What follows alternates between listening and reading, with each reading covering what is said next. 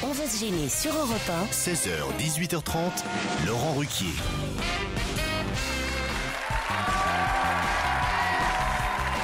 On va se gêner en direct de Bordeaux dans une ambiance exceptionnelle, je dois dire. Merci amis bordelais de nous accueillir et d'accueillir chez vous aujourd'hui Caroline Diamant, Titoff, Stevie Boulet, Fabrice Eboué, Jérémy Michalak et Pierre Bénichou. N'en faites pas trop, Pierre, n'en faites pas trop. Au contraire, je la faisais modeste dans le genre, oh, pourquoi?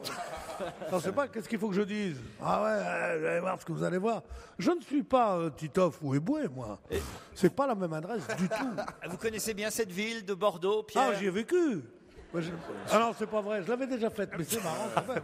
Euh, En tout cas, nous sommes parfaitement euh, bien accueillis ici à Bordeaux. En plus, dans un lieu, je dois dire, euh, splendide, l'Opéra National de Bordeaux, où se joue actuellement West Side Story. On remercie l'Opéra National de Bordeaux de nous accueillir exceptionnellement dans leur cadre cet après-midi. Voilà, il y a toute une jolie programmation jusqu'au 6 juillet ici à l'Opéra National de Bordeaux. Et il se trouve qu'exceptionnellement aujourd'hui, c'est une émission de radio qui a lieu. Bon, on n'est pas dans la salle de spectacle. hein, euh, Par contre, euh, comme les on est à côté du tramway. Oui, il y a le tramway qui passe, on l'entend là.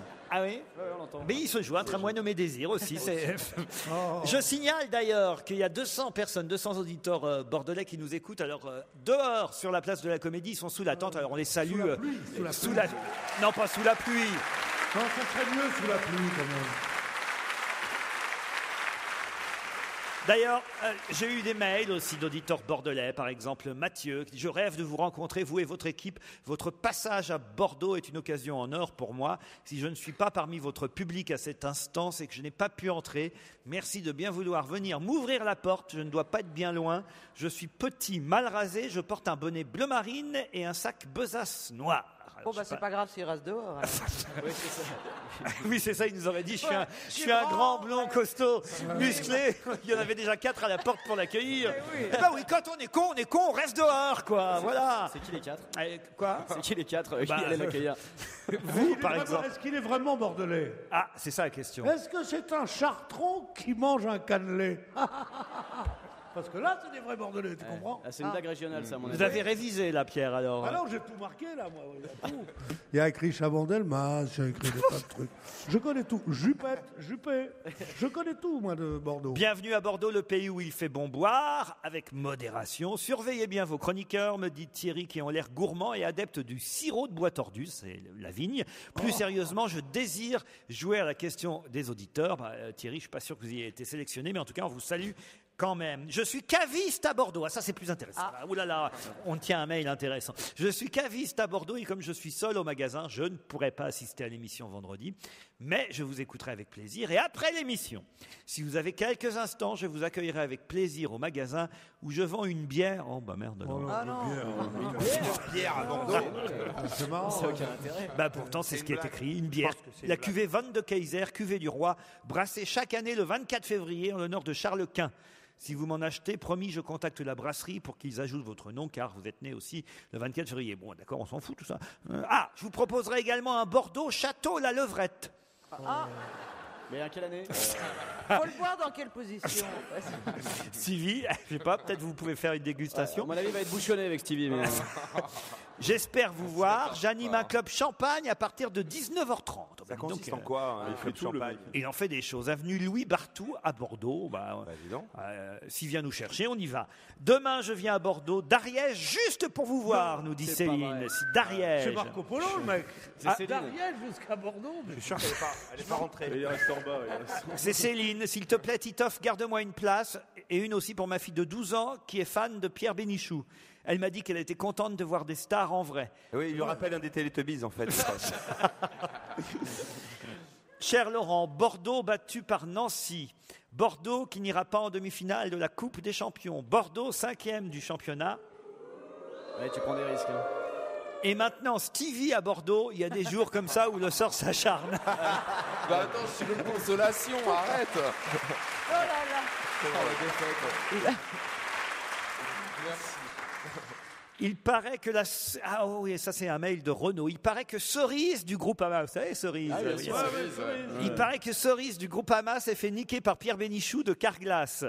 Et vu que son trou était plus petit qu'une pièce de 2 euros, il a pu lui injecter sa résine spéciale en moins de 30 minutes. Et vu qu'elle avait une bonne assurance, ça lui a rien coûté. c'est plutôt marrant, c'est un Ouais, auditeur c'est qui très s'appelle mais- Renaud. mais- mais- Mes chers parents, je n'ai pas voulu cela. C'est le destin qui a fait ça. J'ai Ah, mais c'est incroyable. aussi une histoire vraie envoyée par Christian Martin, une histoire pour Titoff. Bon, ah oui. C'est le départ en retraite d'un curé. Mais alors, il paraît que c'est vraiment arrivé. Hein. Là, c'est pas une blague, c'est c'est une, c'est une anecdote réelle. On fêtait le départ en retraite du curé de la paroisse par un souper d'adieu pour Monsieur le curé. Un politicien local était invité pour donner un bref discours. Comme il tardait à arriver, le prêtre décide de bah, lui-même faire quelques paroles pour passer le temps et de dire au revoir à, à- À tous les enfants. Ouais, pas à tous les enfants, mais à, tous les concitoyens qui, qui sont réunis pour son départ en retraite. Et le curé commence et dit Ma première impression de la paroisse, je l'ai eue avec la première confession que j'ai eu à écouter. J'ai tout de suite pensé que l'évêque m'avait envoyé dans un lieu terrible quand la première personne que j'ai reçue à confesse me confia qu'elle avait volé un téléviseur, qu'elle avait volé de l'argent à son père, qu'elle avait aussi volé l'entreprise pour laquelle elle travaillait, en plus d'avoir des relations sexuelles avec l'épouse de son supérieur. À l'occasion, en plus, il s'adonnait aussi au trafic de stupéfiants. Et pour, et pour terminer, il me confessa qu'il avait transmis une maladie vénérienne à sa propre sœur. J'étais atterré, apeuré, mais avec le temps, heureusement, je connus plus de gens et je m'aperçus que tous n'étaient pas ainsi dans cette bonne ville que je regretterais. J'ai vu une paroisse remplie de gens responsables, avec de bonnes valeurs, croyant en la foi, et c'est pourquoi j'ai vécu les 25 années les plus merveilleuses de mon sacerdoce. Arrive ensuite le politicien qui était en retard et qui voit, qui, qui- bouscule tout le monde, qui prend la parole. Il s'excuse évidemment de son retard et il commence son discours. Jamais je n'oublierai le premier jour de l'arrivée du Père dans notre paroisse, car j'ai eu l'honneur d'être le premier à me confesser à lui. Moralité, Titoff n'arrivait jamais en retard. C'est une belle histoire. Ah bah le mec qui. euh, Ouais. Enfin, c'est une belle histoire, c'est Bordeaux. ouais. Quoi, quoi, quoi Non mais le mec qui refile une, une maladie vénérienne à sa sœur, c'est un peu limite quand même. ça. Alors dites Fabrice Eboué, vous voulez que je lise les histoires qu'on vous envoie, Fabrice Eboué, parce qu'elles sont plus terribles les unes que les autres. C'est c'est assez. Non, j'ose même pas les raconter. Oh, allez, hein. une petite. Ah, oui, C'est en J'espère que vous direct, n'avez pas hein. mangé trop lourd à midi. Quoi. La police est appelée sur les lieux d'un crime atroce. C'est- C'est pour Fabrice Eboué, hein, c'est écrit, c'est euh, Johan de Belgique qui en l'envoie à. Fabrice. La police est appelée sur les lieux d'un crime atroce et demande immédiatement à ce que le médecin légiste, le docteur Eboué, vienne faire les constats d'usage. Ces constatations sont horribles. Il s'agit d'une dame d'un certain âge déjà, qui a été sauvagement tuée d'une dizaine de coups de hache avant qu'on lui tranche la tête, qu'on lui coupe les deux jambes et qu'on lui mutile les deux bras. Quelques minutes plus tard, le commissaire Bénichou arrive sur les lieux. Le docteur Eboué lui fait son rapport. Sur quoi le commissaire Bénichou demande Et elle a été violée? Et le légiste Eboué Non, chef, pas encore. Nous attendions votre feu vert. Bah écoutez, peut-être que c'est parce que je suis en cause dans cette affaire, je la trouve moins terrible que votre première histoire. Ah bon? Parce que votre première histoire, baiser sa sœur sans capote, c'est dégueulasse. C'est bien les conseils pratiques comme ça. Il y a une blagounette envoyée par Claudius. Qu'est-ce qu'a dit Stevie le jour de sa naissance? Il a regardé autour de lui et il a dit C'est bien la première et dernière fois que je passerai par là.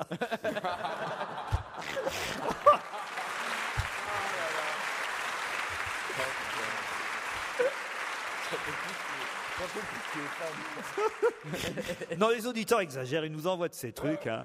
Cher Laurent, ça se passe dans la chambre à coucher de Caroline Diamant. Alors que monsieur est sur madame, le petit entre dans la chambre et surprend les ébats de ses parents. Bah, qu'est-ce que tu fais, papa? Bah, disons, tu vois bien, euh, je garde la voiture dans le garage. Le gamin se penche en avant, regarde dans l'entrejambe de son père, dit Bah, fais gaffe, il y a les deux roues arrière qui frottent. Non, franchement. Oh, je suis atterré, hein. Et le public de Bordeaux aussi qui nous regarde. C'est bien d'être dans une salle dorée à leur fin, il y a des trucs super partout. et- Enfin, J'espère qu'il avait la, la- la direction assistée quand même. Ah, non, mais ça, c'est terrible. Par exemple, non, mais je me demande où est-ce qu'on va trouver nos auditeurs. hein. C'est un garçon qui s'appelle Jean-Michel. Il me dit Cher Laurent, ça fait deux jours de suite que vous ou l'un de vos invités prononcez le mot sodomie au cours de l'émission. Pile poil quand je rentre de l'école avec ma fille de 10 ans. Pourriez-vous arrêter? C'est pas tellement que ça gêne de lui expliquer ce que c'est, c'est surtout qu'à chaque fois, elle me demande de lui montrer, et dans une smart, c'est pas évident. Oh non, franchement. mais- Ah, c'est vrai que- Non, mais vous voyez le genre d'auditeur qu'on a. Ouais, c'est amusant parce que quand tu regardes, ils ont, ils ont l'air normaux comme ça quand tu regardes. Mais, C'est oui, pas des gens mais, qui ont mais- l'air- mais c'est eux qui nous écrivent des choses Hallucinant. pareilles. Euh, Moi, je suis atterré. Ah, moi, J'ai- J'ai horreur, c'est l'histoire de sodomie. C'est vraiment des trucs d'enculés. ça. Angélique, Nicolas, j'espère que vous êtes franchement de meilleure qualité que ça. hein. Angélique, bonjour. Bonjour Laurent, bonjour Bordeaux. Ah, Bonjour Bordeaux. Elle sait y faire, Angélique. Elle habite dans le Maine-et-Loire, à Saint-Léger-des-Bois. C'est bien ça? Oui, tout à fait. Et qu'est-ce que vous faites dans la vie, Angélique? Euh, je travaille dans les ambulances. Dans les ambulances. Très bien, on pourra avoir besoin de vous un jour, on ne sait jamais. Nicolas, lui, est à Prévaucourt, en Moselle. Bonjour, Nicolas. Bonjour Laurent, bonjour Angélique. bonjour Et bonjour Bordeaux, bien sûr. Ah là là là là. Mais vous- mais ils, ils sont quoi à Bordeaux? Ils croient qu'il s'appelle Angélique. alors, qu'est-ce que vous faites, vous, Nicolas, dans la vie? Je suis agriculteur, Agriculteur. Ah, mais alors vous avez quand même une exploitation de combien d'hectares de, de- 200 hectares. 200 Deux hectares. Et Vous, êtes célibataire? Vous êtes à la campagne? Vous faites un quoi Pardon Qu'est-ce qu'elle dit Il a un gros tracteur euh, Plusieurs, oui. Ah, je vois que tu rigolotes. On reste dans l'esprit des blagues. T'as un Je vois- je tracteur vois- je vois alors. qu'Angélique est une. Elle est au diapason, Angélique. Ouais, il a un très gros tracteur. avec les deux roues qui frottent. Mais vous faites dans quoi, Nicolas? Euh, J'élève des vaches pour la viande et je produis des céréales. Et j'ai quelques moutons aussi. Céréalier, euh, moutonnier et éleveur, quoi. Donc, Voilà. euh, éleveur de moutons et de vaches, en gros. Ouais, hein c'est ça, ouais. on, on va dire ça. Nicolas, Angélique, voici euh, la première question qui peut-être va vous permettre de gagner. Vous le savez, le fameux lecteur DVD Blu-ray Toshiba BDX 2000 offert par lerougeson.fr. J'aurais préféré des vacances. Cette semaine, qui a chanté Marie-Madeleine à des pieds de cochon? Cette semaine. Ah, je En sais. général, qui quand a t'as chanté des cochons, Marie-Madeleine à des pieds de cochon quand t'as des animaux, en Un général, c'est chanteur Villepin. Un chanteur Non. Un Politique. Un politique Stevie Oui. Allez-y alors. Ben, on leur laisse 5 secondes. Bah, c'est fait, c'est passé. Alors. Non, non, encore plus, encore. Euh, Alors, euh, pense de à... Villepin. Non. Allez-y, Alors, allez- Lyon. allez-y, Stevie. Sarkozy, Éric Besson. Martine Aubry. Éric Besson a chanté donc la fameuse chanson Marie-Madeleine à des pieds de cochon. À quelle occasion? C'était pas dans...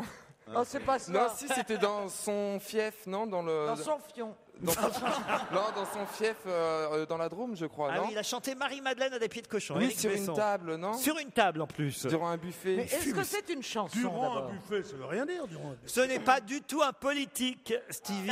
Ah, merde Ce n'est pas un chanteur. Qui, un acteur. qui a chanté cette semaine, si on en croit Libération Sportif. Un sportif. Marie-Madeleine à des pieds de cochon. Franck Leboeuf. Ah, non, je sais qui c'est. C'est euh, Monseigneur Gaillot. Non. Est-ce que c'est quelqu'un. Est-ce que Pierre Bénichou connaît la chanson déjà Est-ce que vous ait une idée? Ouais, Pierre. Je crois que c'est Marie-Madeleine à des pieds de cochon. Excuse-moi, mais je crois qu'elle a pas fait qu'une dégustation à midi. Hein Vous avez dit Fabrice, c'est Un acteur. Non. Euh, Est-ce que c'est quelqu'un qui l'a chanté à une femme qui s'appelle Marie-Madeleine Non, non, vous avez dit un sportif, je vous ai Ah, dit oui. J'ai dit Franck Leboeuf. J'avais- tenté Franck Leboeuf. Franck Leboeuf, non. Un entraîneur, Euh, un Raymond Domenech Raymond Domenech aurait donc chanté cette semaine Marie-Madeleine à des pieds de cochon. Et pour quelle raison? Eh ben, parce qu'il aime beaucoup cette chanson. Oui. Moi qui le connais bien. C'est un Lyonnais après la victoire à Bordeaux? Ah, écoutez, je vais vous accorder la bonne réponse. C'est un Lyonnais après la victoire à Bordeaux. C'est tout l'allant dans l'avion qui ramenait les Lyonnais. Ils veulent pas applaudir, ils veulent pas applaudir. Bonne réponse C'est pas moi. C'est pas moi qui dirige cette émission. Mais je- je l'aurais fait, j'aurais pas parlé du match Lyon-Bordeaux C'est pour vrai, me c'est faire des amis, hein. vous comprenez? Je comprends pas. Libé était dans l'avion des Lyonnais après leur qualification en Ligue des Champions. Il paraît qu'il y avait une ambiance Ah incroyable. bah oui, ça a l'air incroyable quand tu chantes Marie-Madeleine, je sais pas quoi. Là, vraiment, c'est que c'est- c'est c'est une sacrée fête, dis donc. Voilà, tout l'allant s'est mis à chanter Marie-Madeleine à des pieds de cochon, une chanson que lui réclamait le Brésilien euh, Chris. Et euh, on on a pas mal euh, bu et on s'est amusé dans l'avion de retour de Bordeaux. Évidemment, on chantait pas la même chose à Bordeaux pendant ce temps-là. Mais Nicolas, vous gagnez le lecteur DVD Blu-ray Toshiba BX offert par lerouchon.fr. Merci. Ah. Jusqu'à 18h30 sur Europe 1, c'est la suite. On va se gêner avec Laurent Ruquier et son équipe en direct en public de Bordeaux. Toujours à Bordeaux, quel public Ah oui, quelle ambiance Allez, tous ensemble, Marie-Madeleine a des pieds de cochon, vous la connaissez C'est vrai, je sais pas pourquoi, euh, d'où elle vient cette chanson Marie-Madeleine a des pieds de cochon. Inconnu au bataillon, cette Je chanson. sais que j'en connais des chansons paillardes, mais alors Ah celle-là... oui Qu'est-ce que vous connaissez comme Non, c'est pas urgent dans cette belle salle. Vraiment, ça serait vraiment une Un jour, atteinte à l'esthétique de cette jolie salle. Un jour, un jour, la petite Huguette, tu la connais pas? Peut-être que si vous chantiez, vous seriez engagé ici par l'Opéra National de Bordeaux pour, je sais pas, West Side Story, par exemple. Ou quand ils font des travaux Oui, pour rénover. J'ai une question. Ah, elle peut vous faire sécher un petit moment, à mon avis, cette question. Aldo Reato est président d'une association qui les défend et il refuse d'en voir en plastique. Qu'est-ce qu'il refuse de voir en plastique, Aldo? Des bouchons de vin? Des bouchons de vin Non. Il est italien, Aldo? Aldo est italien. Aldo, Ça serait dommage avec un nom comme ça. Je veux dire, Il habite en Ce sont, Italie, des, quoi. ce sont des théières qu'il ne veut pas voir en plastique. non. Est-ce que c'est un truc euh, symbolique de l'Italie qui ne veut pas voir en plastique? Oui, tout à fait, Joujou. Ah, les, les La tour de. Pise. La tour de Pise en plastique. Demain, il déconne, elle. Les, alors, les euh, spaghettis en plastique. les non spaghettis en plastique, non. Non, la cathédrale de Milan que Berlusconi a pris sur la gueule, là, vous savez, les petites statuettes. Ah oui, en plastique, ça ferait moins mal. Ah oui, c'est pour ça Eh ben non, c'est pas ça. Est-ce que c'est en- la, la matière initiale, c'est quoi le- Du métal? Ah, ce n'est pas du métal, la matière pi- euh, initiale. du pierre, Les pierre, les Du bois. Normalement, c'est en bois. Un crucifix Des crucifix. Des crucifix en plastique, il a dit. Moi en premier. Eh ben, c'est pas ça. Et euh, moi, je l'ai pas dit. Ah, les bustes de Mussolini. Les bustes de Mussolini, non, Pierre. La mozzarella La mozzarella. Enfin, écoute, c'est pas. Attends, ils avaient mis Est-ce des bouts que de plastique dedans. Est-ce que c'est un petit objet Non. Est-ce que c'est un gros objet Bah, euh, c'est pas tout à fait. On n'appelle pas ça un objet de toute façon. Des ponts. C'est un pont. Il veut pas avoir de pont en plastique. Pas des ponts. C'est pas con, remarque. C'est un monument Mais on se rapproche. C'est un monument Non. C'est pas un pont C'est des pare-chocs de voiture. Non. Aldo Reato est président de l'association des. Des arbres. Non. Des bancs? Non. On les trouve en extérieur dans Il les- ne veut pas en voir en plastique parce qu'il vient d'apprendre effectivement qu'un constructeur euh, italien venait. D'automobile. Non. Est-ce qu'on en a en France? Non. Ah, de bateaux, les Ça bateaux n'existe Riva. pas Les en Riva. France Les Riva. Les bateaux, Riva. péniches Riva. Non, pas Des les, péniches les- C'est vrai, on n'a les- pas de péniche en France. les fameuses péniches italiennes. Les hein. bateaux Riva, la Non, tradition, c'est les que c'est en péniches bois. Mais non, les gondoles Les gondoles, bonne réponse de Stevie. C'est ça que je voulais dire C'est ça que je voulais dire Oui, mais enfin, je suis désolé Caroline, c'est ça que je voulais dire, c'est ça que je voulais dire. Si vous êtes avec un amoureux à Venise et que vous lui demandez de faire un tour de péniche, il va, franchement, vous allez avoir l'air conne, hein Oui, euh, je dis rarement si je veux sucer ta Quoique, gondole. je, je suis pas sûr que vous rentriez dans une gondole, c'est peut-être pour ça que vous avez pensé à péniche. Euh, C'est pas gentil de lui dire ça. quoi. Monsieur. Mais non, mais dans ma tête, je pensais, mais je dois être dyslexique parce que je, vraiment, je visualisais Ou une juste un peu péniche. conne. V'là-t-il pas qu'elle visualise maintenant. Elle est capable de tout. celle-là. Visualiser une péniche, une, une gondole, et c'est pour ça qu'elle dit péniche. Écoute, si je suis pas à côté de toi, je sais pas ce que je te fais.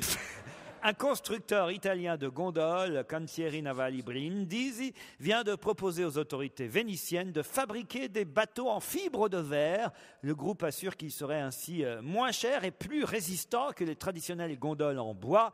Évidemment, tout de suite, le président de l'association des gondoliers de Venise a protesté et dit que c'est hors de question qu'on voit un jour des gondoles en plastique dans Venise. Vous qui y allez bientôt, cher euh, Jérémy, euh, je crois, je pense pas que vous ferez un, un coup de gondole en plastique. Vous voulez une vraie gondole avec, bah oui, euh, une vraie, une authentique, avec le vrai gondolier qui chante. Euh, euh, je crois ouais. qu'il voulait faire une surprise ouais, à sa meuf. Ouais, Merci. c'est pas grave, c'est niqué, c'est niqué maintenant. Oh non, t'as pas fait ça. C'est pas grave, c'est niqué, c'est niqué maintenant.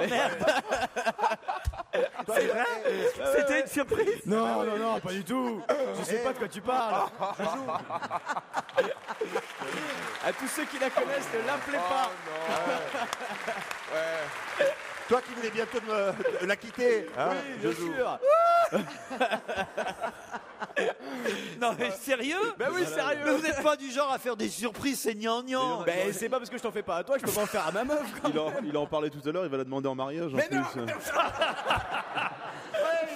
Il a déjà. On offre toujours un voyage à Venise avant de se séparer. Non, mais c'est une ville où on se sépare, Venise. Ah oui C'est la ville la plus triste du monde. C'est beau, d'accord, mais qu'est-ce qu'il y a? Un bar qui est pas mal. Il y a un bar. Le Harris Bar. Un Le bar à Harris pute. Bar. Mais le reste, c'est d'un ennui. C'est, c'est d'une beauté, une beauté à, à se suicider, quoi. Voilà. C'est triste. Alors, il y, a- il y a des touristes, en général, c'est des Français, des Hollandais qui disent Eh, où que c'est venu T'habites sur le Grand Canal? Je m'aurais bien un caca. Non, mais je te jure, c'est quelque chose d'affreux. Tu préfères la montagne ou l'été, Venise? c'est plein de monde. L'hiver, c'est une solitude effrayante. Moi, j'ai attrapé deux pneumonies à venir. Ah non, non, mais je vous assure.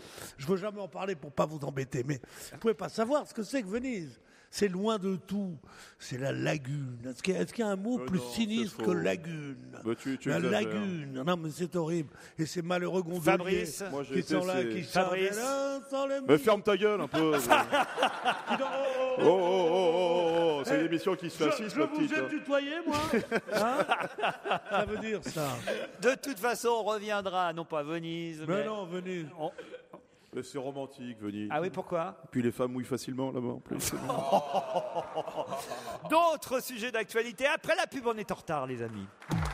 En direct et en public de Bordeaux, retrouvez tout Europe 1. Le club européen.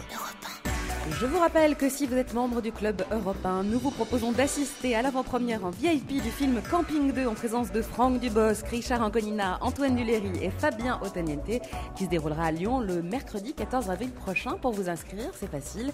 Allez dès maintenant sur club.europe1.fr. Club.europe1.fr Et c'est la suite d'On va gêner sur Europe 1, toujours en public, en direct de l'Opéra de Bordeaux, avec aujourd'hui Pierre Bénichou, Stevie, Caroline Diamant, Fabrice Eboué, Jérémy Michalak, Titoff et vous, Laurent Ruquier. Attention, une question encore euh, difficile, oui, Fabrice. Euh, Laurent, je suis obligé de te couper, il est 16h30. Sodomie, sodomie, sodomie, sodomie, pour tous les enfants qui n'écoutent, qui sortent de l'école. Sodomie, non sodomie, sodomie. C'est pas possible, ça, Fabrice Eboué. On est sur une antenne nationale, on est Ah, en c'est- direct, on est à Bordeaux. Et, et- C'est une volonté des et auditeurs. peut-être ça. que la fiancée de Jérémy Michalak nous écoute. Ouais, peut-être Clémence, celle Ah qui part putain, à ça Venise bientôt, suffit là. là maintenant. Venise, Venise, Venise. Celle qui va avoir des gondoles en plastique, là. Tu vas l'emmener au Havre, tu vas voir, ça va être vite fait. Alors j'ai une question pour vous. Là, euh, Pierre, je pense que vous pouvez abandonner tout de suite. hein. Je suis pas sûr que ce soit une question qui. Je serais vraiment surpris si c'est vous qui aviez la réponse. Là, je, je crois même que tiens, je vous offre un voyage à Venise, Pierre, si euh, si vous trouvez la réponse. j'ai pas besoin qu'on m'offre des voyages à Venise. Si je veux y aller, je peux y aller par moi-même. Ah ouais? Bien sûr. Bon, alors allez-y, ouais, vite, mauvaise humeur. L'autre con qui me fait fermer euh, ma gueule pour, pour dire sodomie, sodomie, sodomie, sodomie. Vous qui dites que c'est bien Venise, alors que c'est tragique. Tout le monde a pleuré à Venise. Mais non, Il c'est y a- génial comme ville. C'est une. Mais tout le monde a pleuré. euh, Georges Sand, euh, Musset, euh, Chopin, euh, Baudelaire, Mahler. Ils ont, ils ont, Sheila et Ringo. Ils, ils n'ont, ils n'ont rapporté de, de Venise que des souvenirs atroces. Des, des, des... Ça, puis il fait un froid à Venise. Oh la vache Et quand il fait beau, ça pue. Mais non. Mais oui C'est n'importe quoi. Mais c'est des égouts, Venise. Mais n'écoutez pas ces aigris, c'est la plus belle. Alors, il y a eu une époque où c'était beau, au temps de la Sérénissime. Ça, c'était merveilleux. Vous connaissez ça, les gosses, là, non Hein Vous travaillez à l'école un peu au lieu d'écouter... euh, à, moins, à moins que vous préfériez écouter le monsieur, là-bas, le monsieur Eboué, là, oui. C'est pas avec ça que vous aurez votre bac. Alors si je vous dis que Bette Ditto sera bientôt à Paris et que sa spécialité est souvent d'apparaître dénudée. Mais qui est Bette Ditto La, chanson, la chanteuse de Gossip Girl. De Gossip. Bien sûr, c'est la se grosse. entre grosses en fait. euh, La chanteuse du groupe Gossip. Excellente réponse de Caroline Diamant et Fabrice Eboué.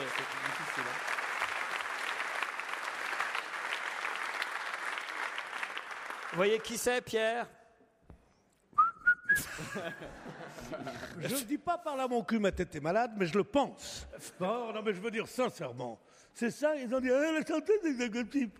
Regardez-moi ces deux-là, mais, vous n'avez pas, pas de votre place sur le sol national. On est à Bordeaux, n'oubliez pas quand même que le gouvernement de Pétain s'est replié à Bordeaux. C'est une, vraie ville ici. Ça veut dire ça. Bon, après, après ils, se sont, ils se sont rachetés en, en élisant Chaban-Delmas, qui était un résistant de 1943. Mais le, le reste, écoutez, il y en a marre quand même. Ça veut dire ça. Oh, j'en ai marre, j'en ai marre, j'en ai marre. Il a bien détourné l'attention. hein, parce que Non, je ne connais pas le groupe Gossip, non. Est-ce que vous savez ce que ça veut dire Gossip? Oui, Rago, Ouais. ta gueule. oui, bah ça c'est fait, qu'est-ce que tu veux que je te dise? J'adore quand je lui cloue le bec. T'es trop mignon quand t'es un petit peu Comment elle s'appelait la- la- l'ex-chanteuse du groupe Gossip euh, Rachida Dati, hein, c'est ça euh, Tiens, puis ju- justement, euh, restons dans la politique. Euh, Qui va diriger le PRS Euh, Dominique de Villepin. Ah, C'est le. Excellente réponse Ah bon? de Jérémy Michalak.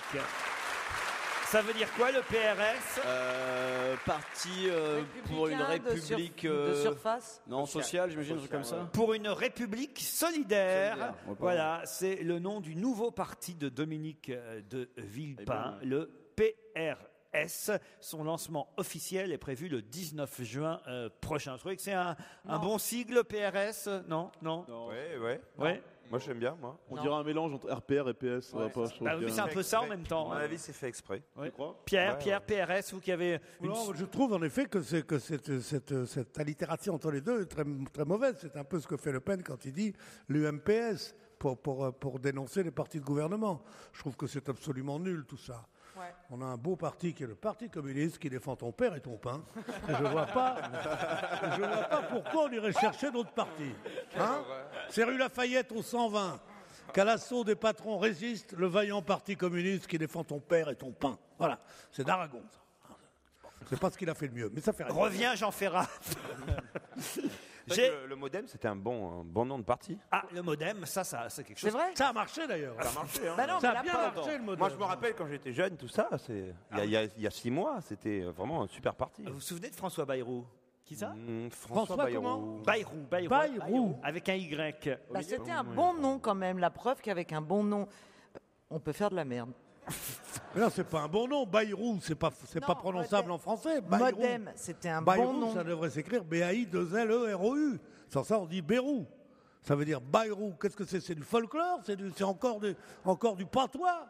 On a marre. Restons français. Tu sais, je suis limite de préférer quand tu chantes. Françoise, Françoise et son mari ont volé des lampes, de la vaisselle et du linge de maison. Vous me direz, il n'y a pas de quoi euh, raconter ça dans les journaux, ça arrive quand même assez régulièrement. Mais euh, si on nous en parle dans la presse de Françoise et de son mari qui ont volé des lampes, de la vaisselle et du linge de maison, c'est qu'il y a une bonne raison.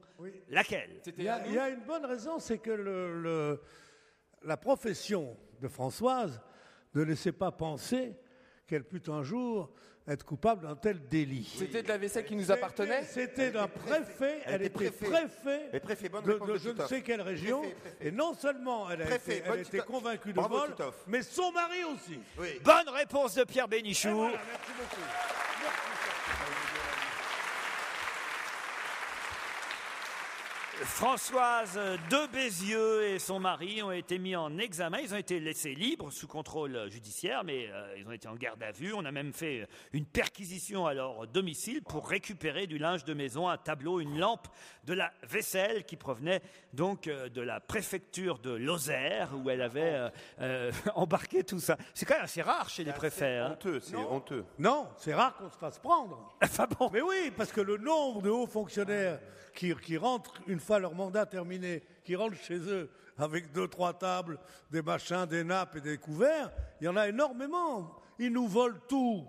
Les salauds, les métèques, ouais, ils nous volent tout. C'est bien, mais contre, j'ai l'impression que dans le TGV, pendant que moi je dormais, ils ont tous révisé la, la presse aujourd'hui. Oui, j'ai l'impression aussi. hein. Non, mais il n'y en a pas tant que ça, parce que c'est répertorié, tout ça.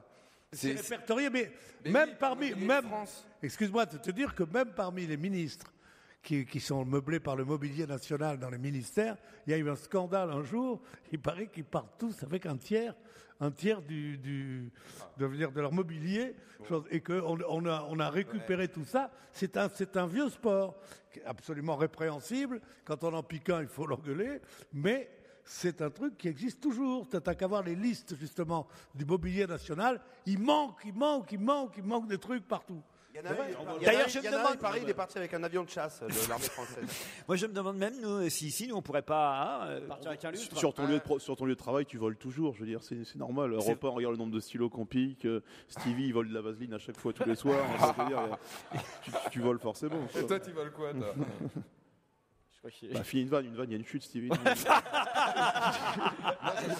Non mais ici on pourrait peut-être quitter cet Opéra National de Bordeaux tout à l'heure avec un petit souvenir, je sais pas, un lustre, euh, un truc qui passe inaperçu quand on s'en va quoi. Oh, il y a pas une pampille. Ben, si on, si on gratte un petit peu les murs, on peut se faire un beau collier en or. hein, je pense. Dans un, dans un opéra, il vaut mieux voler un contrute. Pierre, plutôt qu'un contrute, je vais vous faire découvrir Wow. Gossip, puisque vous ne connaissiez pas il y a quelques minutes. Peut-être vous connaissiez parce que vous aviez entendu, c'est quand même le groupe du moment et la chanteuse du moment. Elle fait un carton. Et euh, je vous signale que euh, Gossip sera à Paris euh, le mois prochain. Donc, euh, cette euh, chanteuse britannique, hein, je crois, euh, au départ, eh bien, vous allez pouvoir la, découvrir, cher Pierre, grâce à Europe 1. On va gêner, c'est jusqu'à 18h30 sur Europe 1, toujours en public et en direct de l'Opéra de Bordeaux avec Laurent Ruquier et toute son équipe. Puisque manifestement, et Titoff l'a remarqué, vous avez bien révisé dans le TGV Paris-Bordeaux, vous avez lu toute la presse, je suis obligé d'aller chercher des questions de plus en plus difficiles, alors on va essayer celle-ci. Qu'est-ce qu'Hector Poulet a fait à Astérix? Qu'est-ce que Hector Poulet a fait à Astérix? Quelque chose d'agréable? Que- Moi, j'essaye d'orienter euh, Il l'a mis en mes musique. recherches. Hector Poulet. Alors d'agréable, en tout cas, oui, c'est plutôt positif. Ah, mais c'est Astérix, le, le vrai Astérix Oui. ou, euh, ou c'est un- genre un chien qui s'appelle Astérix ou, euh, Qu'est-ce que vous appelez le vrai Astérix bah, le, celui du, du- le personnage quoi. J'en ai déjà posé des questions cons, Joujou, tu, mais, alors euh, celle-là, oui. je crois qu'elle bat des records. Parce Ah que ça, va, nous faire avancer. Est-ce que est-ce que c'est le le vois, personnage de tu bande le- dessinée Tu le fréquentes, toi, Astérix, Ouais, par on est exemple potes, ouais, on est amis, ouais, bien sûr. Non, vous parlez. Je connais Obélix aussi, il te ressemble un peu d'ailleurs. J'allais venir. Alors, il s'agit d'Astérix, le héros de bande dessinée, oui. D'accord. Qu'est-ce que Hector Poulet Hector Poulet, c'est le vrai ou euh, c'est le. C'est un monsieur, un vrai monsieur. Est-ce que Hector c'est Poulet. un dessinateur? Non, C'est un compositeur de musique. non. Il aurait fait quoi, Astérix, alors Il aurait fait une musique sur Astérix. Non. Il l'a plagié. Il aurait fait une musique Plagié. aussi con qu'Astérix lui-même. quoi. Est-ce que c'est un styliste Qu'est-ce qu'il y a Qu'est-ce qu'il y a Vous n'aimez pas Astérix Ah, Ah, il aime rien, putain. Pourquoi vous Je déteste Astérix. Mais pourtant, Toute la connerie française est là-dedans. Ah, là, et, et- et Obélix et machin, et la potion magique. Et Pourtant, tout. vous auriez C'est fait- rend- c'est tout ce qui rend les enfants tellement cons, Putain, on dirait le c'est barde. qu'ils passent directement d'Astérix à Gossip. Moi, je crois que- Voilà. et- je crois- et au lieu Laurent- de leur apprendre de, de Laurent- belles choses, de beaux contes, et non, on leur apprend alors là, et puis, euh, Excuse-moi, mais- et puis un bras raccourci, qu'est-ce que c'est drôle. Mais pour moi, c'est c'est immonde tout ça. Et moi, je crois que je crois qu'il veut vraiment, il veut vraiment la place de Zemmour, moi, je crois.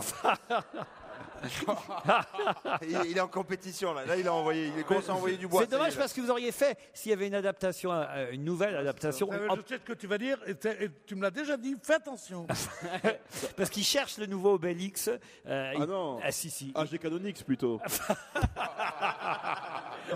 Oui, parce que je vois pas Pierre avec des nattes. Non, mais c'est- C'est marrant, c'est moi qui suis fin et lancé, je vois pas comment je pourrais faire ça. Ouais, fin, Non. ouais. Remarquez, si on fait les schtroumpfs, le schtroumpf grincheux, ça vous irait parfaitement aussi, Pierre. hein. Le schtroumpf grincheux, les sept nains grincheux. Non, non, le schtroumpf grincheux. Bah oui, un Qu'est-ce schtroumpf. que c'est que ce modernisme à la con Non, c'est le Schtroumpf. D'abord, c'est Schtroumpf grognon. c'est Ah oui, Schtroumpf- grognon. C'est chez les nains, le grincheux. Ah, il avait raison. Alors, grognon. Oh, bah, par il Alors, alors que je joue, il peut faire les deux. C'est pratique. C'est en rapport avec le parc.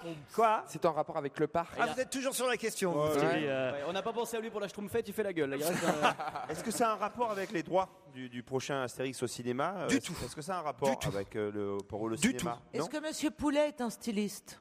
Un styliste? Ouais, il pourrait avoir créé, vous savez, comme il y en a qui créent pour Barbie des, des, Des des robes. Est-ce Lui, il aurait pu créer une Un nouveau te- pantalon pour Un Astérix. nouveau pantalon pour Astérix écossais pour faire genre. Ah, Est-ce que le monsieur- prochain Il va pas faire le prochain Astérix? Ah, vous en pas répondre un à ma question. Est-ce hein. que Monsieur Poulet a de belles cuisses?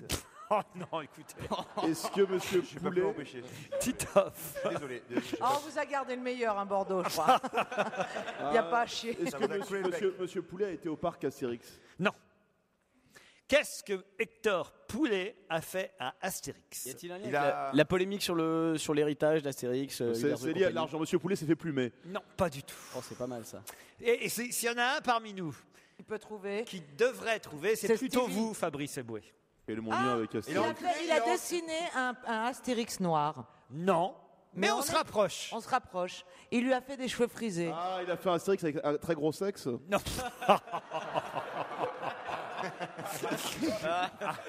Ah, le Non, est-ce- genre. Bon, bah, je sais dans la chambre de qui je vais finir ce soir. Ah, la traînée. Mais bien sûr, la 312, la 313 et la 314. Eh oui, oui, il s'est installé sur tous les étages. et si par contre ce soir tu peux démarrer par la première chambre un peu plus tôt que d'habitude, On va t'appeler Falbala ce soir. est-ce que Monsieur Poulet fait des BD Alors, il fait pas des BD, parce que de toute façon, les BD d'Astérix, ça, ils existent Mais lui, déjà. il fait d'autres BD. Il a fait Astérix en Afrique. Ah, Il n'est pas vraiment BD, il est, il est bi. moi. Il a fait Astérix au Congo. Non, non, non, non, non. Et, les albums d'Astérix, ils existent. Et là, arrive Monsieur Une Hector Poulet. Ah, je- Caricature. Je sais, je sais, non, non, je Une sais. satire. Ah, les, euh, Il a repris, il les a, objets dérivés. Non. Une il a- parodie. Il a mélangé euh, les histoires d'Astérix avec d'autres histoires de, Du de, de tout. bande dessinée. Il va faire une Il- comédie il- musicale. C'est sûr. La BD d'Astérix n'a pas bougé, sauf que. Il a rajouté un personnage à l'intérieur. Non. Ah oui, Il a c'est mis Astérix dans la ferme célébrité. Non. Il a, Il a mis- fait maigrir Obélix. Mais non. Il a mis Astérix dans une autre BD. Il Je vous un- dis, les dessins sont les mêmes, l'histoire est la même. Il a Ah, traduit il a dans fait une, dans une autre langue. dans une autre langue, dans une autre langue. Il a traduit dans une autre il langue. l'a traduit en zoulou. Il a traduit Zoulou. en, Fabrice, n'est pas Il a Zoulou, traduit euh. en langage SMS. En Non. Zoulou. Non, dans une autre langue. En dans- langage- En Zoulou. Non, mais tu. Mais ma pauvre Caroline, je peux t'attaquer en procès pour ça, je peux te dire ça. En Zoulou, mais qu'est-ce que c'est que ça? Mais quoi, Mais ça c'est va pas- pas Pourquoi c'est pas... Tu dis ça toi aussi? C'est pas une Mets-toi à langue? sa place. Pas vrai, mon boulard?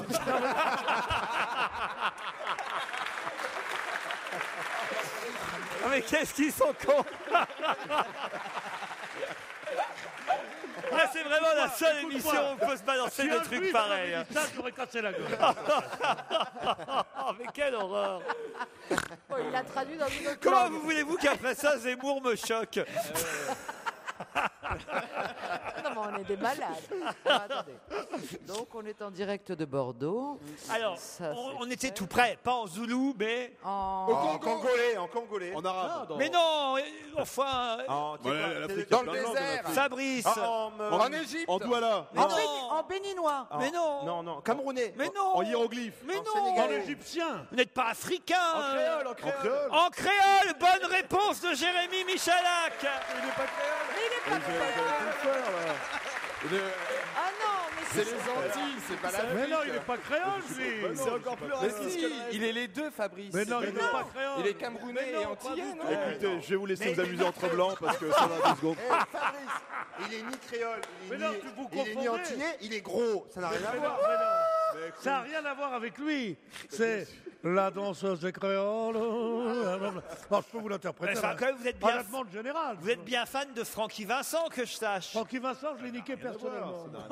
Comment ça, ça n'a rien à voir Vous êtes fou de toute la musique créole, Ah, du zouk, sûr, de... Ils savent tout ça, ouais, mais c'est c'est de la musique. c'est autre chose. Souvent- Je suis pas créole. Non, mais j'ai pas dit. que- Est-ce que j'ai dit que vous étiez créole J'ai jamais dit ça. Je dis simplement que vous aimez bien cette langue et que vous aimez bien Francky Vincent, Euh, ouais, ouais. Laurent, j'ai- Cassave. entre Zoulou, créole, j'ai compris le message. Je ne reviendrai plus dans cette émission. Il n'y a pas de souci. Voilà. Ah Fabrice, Fabrice, ça va souvent en venant dans les couloirs d'Europe 1, tu sifflotes un, un petit peu du- de la Bien compagnie sûr. créole, tout ça, souvent. Ouais, je frotte Caroline en passant. Tout Bah ça. ouais. Ouais, c'est- On te garde parce que tu es le dealer de l'équipe, hein, c'est pour ça. hein. Astérix en créole. Voilà ce qu'Hector Poulet a fait. C'est un spécialiste de cette langue et il a traduit la zizanie, par exemple, ou même euh, le grand fossé. Ça donne le Et la grand. potion magique, c'est du rhum, il paraît. C'est du rhum arrangé- c'est du rhum arrangé. ouais.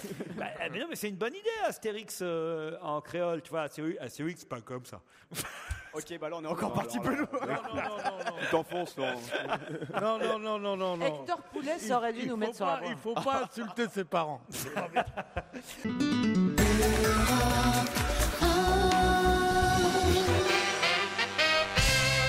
Qui a un long passage de Pluton sur sa lune, si on en croit. la- Domenech Yes, yes, yes J'avais tout Bonne misé- réponse de Titoff, effectivement. J'avais tout misé là-dessus. Le Parisien a interrogé une astrologue qui s'appelle Diane Bocador, une astrologue parisienne réputée, hein, nous dit euh, Julien Laurens dans le Parisien. Et elle a donc étudié euh, le thème astral euh, de Raymond Domenech et nos chances euh, de victoire pour le mondial euh, euh, 2000. Il n'y a pas besoin d'être voyant, je crois. Ah ben c'est pas voyant, c'est Ah, c'est- non, mais c'est j'ai jamais vu un homme au- aussi martyrisé que ce mec-là. Ah, non seulement on dit qu'il est pas bon, qu'il est machin, il est comme les autres, il est aussi con, et il est, plus- il est plutôt bo- bon entraîneur, je crois, d'après ce que je sais. Ça va mieux, j'ai Ils vont l'impression. lui trouver, quand il ne trouve pas de poux dans la tête, ils vont lui trouver une voyante, une Madame Irma qui dit oh là là. Et parce qu'il Il y a croit, Saturne, il y il, a croit, Saturne dans la Lune. Je crois qu'il ne peut plus être entraîneur de l'équipe de France. Non, mais c'est de l'acharnement. C'est atroce. Il de n'a pas faire ça. Saturne dans la Lune, il a un passage de Pluton sur Ah, sa Lune. Ah, s'il a Pluton, alors là, c'est normal. Et donc, c'est quoi, c'est quoi les chances Il est deuxième des Je sais pas, il faut demander à Stevie, ça fait quoi Pluton sur la Lune Sur sa Lune. Mais est-ce que le, le vrai problème de cette équipe, c'est qu'il n'y a pas trop de bamboula dans l'équipe Pierre Ah non Moi présent, tu n'obtiendras pas de propos racistes. hein. Alors, en tout cas, voilà, il connaît un passage de Pluton sur sa Lune. C'est un très mauvais signe pour lui. C'est une forme de fatalité euh, pesante, nous dit l'astrologue consulté par le Parisien. Euh, voilà, il faut savoir que traîne autour de lui une lune poisseuse. Il a la lune poisseuse, nous dit euh, Diane Bocador. Ça s'invente pas, ça, quand même. Domenech a la lune poisseuse. Et outre la lourde chape de Pluton, Saturne et Uranus se défoulent également sur la lune du natif du lion. Euh, vous voyez hein, ce qu'on nous dit sur Domenech. Donc, ça va mal se passer au point même euh, qu'on nous précise dans cet article que selon les astres, la liste des 23 retenus pour le mondial, dévoilée le 11 mai prochain, devrait déclencher une nouvelle polémique. Oh là, ce sera pas les astres, ce sera un désastre tout court. Quoi. Ouais, mais c'est quand même fou, ça, cette histoire. C'est qu'on puisse euh, euh, étudier l'astrologie au point de nous dire que le 23 mai euh, ou le 11 mai, ce sera la liste des 23. Alors, à nouveau, un, un gros bordel pour euh, l'équipe de France. Et puis... Enfin, après, ça s'arrange. hein. En revanche, au mois de juin, donc c'est bon signe pour le premier Ah, il match France-Uruguay. Il va se marier, il va se marier Ah, C'est pas dit, ça, c'est pas dit s'il va se marier ou pas. T'as pas celle de Philippe Bouvard plutôt qu'on rigole plus quoi. Pourquoi Qu'est-ce que vous voulez Vous voulez remplacer Philippe Bouvard, euh, Fabrice Moi? Oui. oh, Je sais pas, je suis dans le ton RTL, je pense pas. Alors que sur Radio Tropique, vous feriez. Tu pourras faire les grosses têtes de con, tu pourras faire. toi. Ah, j'ai pas aimé la façon que tu m'as parlé, hein, je vais te dire. Mais heureusement que je vais voir mon tcha-tcha-tcha là. parce Eh, que- Puisqu'on est sur les bleus, dites-moi, euh, euh, qui va euh, sortir un disque, une euh, chanson en hommage aux bleus euh, Et ils chanteront, on entendra sur cette chanson, tous ensemble. Omar et Fred. Oh, bah, ah, bah, faut arrêter, Titoff, là. J'ai tout révisé, j'ai tout révisé sur les bleus, je savais qu'on allait en parler. Omar et Fred, bonne réponse de Titoff. On n'a Tous ensemble, on tape dans le ballon, pas de problème. Si tu t'appelles Raymond, Moussa, Karim ou André Pierre, de vous tous, on est tellement fiers. Le dernier texte de Jean Ferrat, je crois. C'est la chanson d'Omar et Fred pour le prochain mondial. On devrait en faire une, nous aussi, hein, une Ouais, chanson ouais. pour les Bleus, euh, Ouais. Pierre, non? Vas-y, Bamboula, vas-y. Ah, mais non, mais non, arrêtez, arrêtez, arrêtez. On verserait les, les, les, les gains à qui? À nous Oh non, on pourrait le faire pour une association. Ben, on est, enfin, l'association. c'est pas la ferme des célébrités ici. hein. L'association, là, mais ça va pas. Tout le monde fait ça pour une association. Nous, Ouais, on n'est pas le- faux cul, on le ferait pour notre pognon. Non, enfin, pour voyons. le caroton, par exemple. C'est quoi ça, le caroton? Bah, ce serait pour moi. Ah, d'accord. C'est un pléonasme. Un oxymoron marrant, avec, un- avec un physique pas terrible, elle arrive à en tirer quelque chose. C'est marrant. Regarde-moi ça, parce que tu sais, en fait, c'est une bonne fille. Moi, je peux vous le dire, c'est une bonne fille. Vous auriez vu dans le train, elle donnait à boire à tout le monde. Et il y avait un handicapé, elle est allée, elle s'est occupée de lui pendant un quart d'heure. C'était Fabrice. Elle a dit, mais oui, tu verras, la femme, c'est comme ça, tout ça. T'as été gentil dans le train. Non, mais tu me mets mal à l'aise. Pourquoi c'est vrai tout ça? Non. Ouais. Absolument. À un moment donné, on a déraillé, elle a, toute seule, elle a remis le TGV sur le rail. non, elle a un grand cœur, elle est, elle est- c'est incroyable. Il y cette avait un femme. TGV qui nous arrivait juste dessus, paf, d'un coup de queue, elle l'a fait, elle l'a fait des- Non, elle est incroyable. Dites, je sais pas, vous avez vu, il y a beaucoup de vélos hein, euh, dans Bordeaux. Je sais pas si c'est Ah bah, grâce ils, ont, à- ils ont pas de bagnole encore ici. Je sais pas si c'est grâce à Monsieur euh, Juppé. On m'a même proposé de faire un tour en vélo euh, écologique, le transport zen et écologique, cycloville. Je sais pas si ça vous dit de faire du vélo euh, tout à l'heure. Oh, c'est toi qui as le meilleur coup de pédale ici. hein, que- un- Ça, c'est la vengeance. hein. La vengeance des communautés. En tout cas, nous serons toujours. Il y a une bonne ambiance aujourd'hui. Qu'est-ce qu'il y a Il y a une bonne ambiance aujourd'hui. Tout le monde se taille. hein. Ouais, il y a de l'amour. Ça fait une heure que j'attends pour faire une blague antisémite, j'arrive pas à la placer. Attends 19 Oh, oh, oh, oh. Il y a des tribunaux pour ça. Allez, vous restez sur Europe 1. Nous restons à Bordeaux. Nous sommes avec vous jusqu'à 18h30 pour On va se gêner. Dans la deuxième partie, d'autres questions sur l'actualité et bien sûr l'invité d'honneur dans la dernière demi-heure. À tout de suite. On se retrouve après les infos. Laurent Ruquier sur Europe On va se gêner.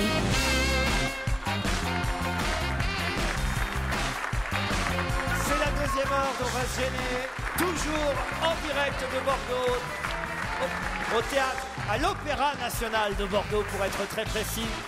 Avec Pierre Bénichou, Caroline Diamant, Titoff, Stevie Boulet, Jérémy Michalak et Fabrice Eboué. Et je vous signale, puisqu'on est à l'Opéra National euh, de Bordeaux, qu'au mois de juin prochain, ici, il y aura un tournoi de foot avec euh, toutes euh, les équipes constituées de différents opéras de France. C'est-à-dire qu'en fait, il y aura voilà, une sorte de tournoi entre le personnel de différents opéras qui se jouera ici à Bordeaux. C'est original quand même, mélanger le foot euh, Des et l'opéra. des chanteurs d'opéra qui vont jouer au foot Ouais, voilà, Oh exactement. là là, quand il va y avoir but, ça va faire du bruit. hein. Oh Ce sera le premier championnat de France de foot des opéras. Ce sera au profit de l'association Neuf de Cœur. Je crois que c'est l'association euh, chère à, à Jean-Pierre Papin, vous savez, voilà. Et, et ça se passera le samedi 19 juin à Bordeaux, le premier championnat de France de foot des opéras. Quelques mails sont arrivés depuis le début de notre émission. Pourriez-vous dire à votre technicien du son, me dit un auditeur, qu'il règle mieux le son dans la salle où vous faites l'émission aujourd'hui? Parce que Pour une émission radio, c'est pas trop gênant. hein. Parce qu'il y a beaucoup trop d'écho euh, dans la salle. C'est pas tellement que ça nous gêne, mais c'est surtout qu'on entend les conneries de Stevie plusieurs fois de suite. Je suis à côté en train de travailler, cours de l'intendance sur Bordeaux, écrit Romain. Vous faites trop de bruit, pensez un peu à ceux qui font tourner l'économie de ce pays. Tout à l'heure, Stevie a demandé à Boubounet et Fabrice Eboué ce qu'il ramènerait de Bordeaux avant de rentrer à Paris. Moi, je serais à sa place, je ramènerais Chamac ou Gourcuff. si Stevie a toujours les mêmes goûts, lequel vous voulez? Gourcuff. Gourcuff, voilà. À l'attention de Pierre Bénichou. Bordeaux, surnommée capitale du malheur, n'a jamais été la ville du maréchal Pétain, mais celle du dernier gouvernement, celui de Paul Reynaud, démocratique gouvernement avant l'État français. C'est toujours. De la BA C'est ce que je dis 106, toujours. près de Mérignac, que De Gaulle a rejoint Londres. Bon séjour tout de même dans notre bonne ville et je peux vous conseiller le restaurant Le Chapeau Rouge, très bon, avec bonne ambiance et pas cher. À deux, alors pas cher, non, ça nous intéresse pas. À deux pas du Grand Théâtre. Voilà, dommage. PS, dommage que Christine Bravo ne soit pas des vôtres, elle aurait pu goûter du cannelé, oui. bah, c'est- On va pas ressortir cette vieille histoire quand même. hein. Pourquoi Pourquoi On va ressortir le cannelé, il est bien où il est.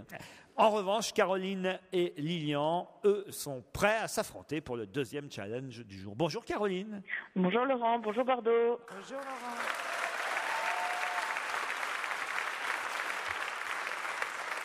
Et Caroline est parisienne. Quel temps il fait à Paris? Je peux demander ça aujourd'hui. Euh, un beau temps bleu. Un beau temps bleu, comme ici à Bordeaux. Et faites quoi dans la vie?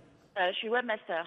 Quoi? Webmaster. Webmaster. Ah, webmaster. C'est jamais des connes, les Carolines. J'ai cru qu'elle avait répondu et ta sœur. Je me disais merde. C'est bien ça, qu'est-ce que tu fais dans la vie Et ta sœur? Caroline, vous nous écoutez tous les jours? Presque tous les jours euh, du boulot, je devrais pas le dire, mais euh, Bon, bon, comme on fait pas grand-chose quand on est webmaster, on a le temps bien sûr, la- pas du tout. la radio. Euh, vous avez des chouchous, des préférés ou une séquence préférée dans l'émission? Non, j'adore Pierre Bénichou. Enfin, l'équipe qui est là, j'aime beaucoup. Ah, c'est vrai, c'est un- c'est la Dream Team aujourd'hui. Ouais. Ah, parfait. Ouais, ouais, j'aime beaucoup. Lilian va affronter Caroline. Bonjour Lilian. Bonjour à tous, bonjour Bordeaux. Bonjour Lilian. Vous êtes vous êtes en Vendée, vous avez toujours votre maison? Euh, oui, oui, oui, oui. oui. Oui, ah, je suis parce pas que- sur la côte, donc c'est bon. Ben, Vous êtes un chanceux, euh, vous êtes à Mortagne-sur-Sèvre, très Ah, exactement. C'est merveilleux, Mortagne. Et vous, vous avez une activité principale dans la vie? Je suis magasinier dans une entreprise qui fabrique des bateaux. Magasinier dans une entreprise de bateaux. Parfait, rien à dire, pas de commentaire, un petit message à faire passer pour vos amis, votre Ouais, je famille? voudrais passer un petit bonjour à ma famille, à ma chérie Aurélie et puis à mes collègues. Voilà, Et moi j'embrasse mon mari. Eh bien, on vous a rien demandé, Caroline. Ah ben tant pis, pourquoi Caroline, Lilian, attention, voici la question qui va vous opposer. Que vont faire 37 à 40 000 personnes dimanche prochain? Le Le marathon. Le marathon de moi. Paris, Elle a dit c'est Caroline. Caroline qui l'a dit et de toute façon, elle a le droit à 5 secondes d'avance. Donc c'est elle qui gagne. Il faut dire qu'elle est parisienne, elle était avantagée. Bravo Caroline Merci.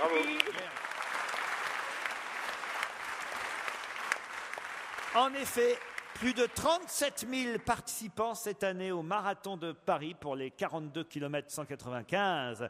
Euh, 34e édition de ce marathon euh, dimanche. Vous courez, euh, Caroline? Non, mais j'ai une super euh, collègue qui va courir et on va les encourager euh, dimanche matin, donc effectivement j'étais un peu privilégiée. Ah bah c'est bien de les encourager parce qu'il y avait un article dans le Figaro aujourd'hui qui nous disait que le problème du marathon de Paris, qui n'est pas aussi populaire évidemment que celui de New, New York. York. ou même de Londres ou de Berlin, qui sont des marathons très réputés, mais le problème du marathon de Paris, c'est qu'il y a peu de monde euh, pour encourager les coureurs tout au long du parcours. Voilà. Les, les Parisiens ne viennent pas assez nombreux et, et ce qui fait que la course n'est pas assez festive comme dans les autres pays.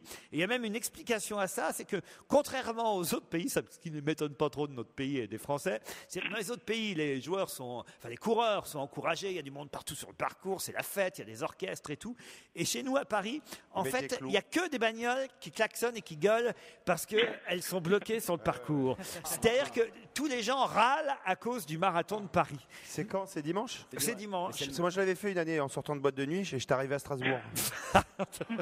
Je aussi. hein. Non mais vous l'avez fait vous, le marathon Je fais souvent tous les marathons autour de la, la planète. J'ai fait euh, New York, Paris, Bagdad, je l'ai fait l'an dernier, qui est bien. Il y a des Ouais. pièges, il y a des pièges, il est plus dur. Il y a des obstacles, ouais. Alors il paraît que le pire, euh, c'est ce que, et en plus c'est le Figaro qui le dit, alors on peut le croire, c'est le passage dans le 16e arrondissement de Paris. Alors là, il paraît qu'il y a une hostilité envers les coureurs. Il y a euh, les Yorkshire qui t'attaquent.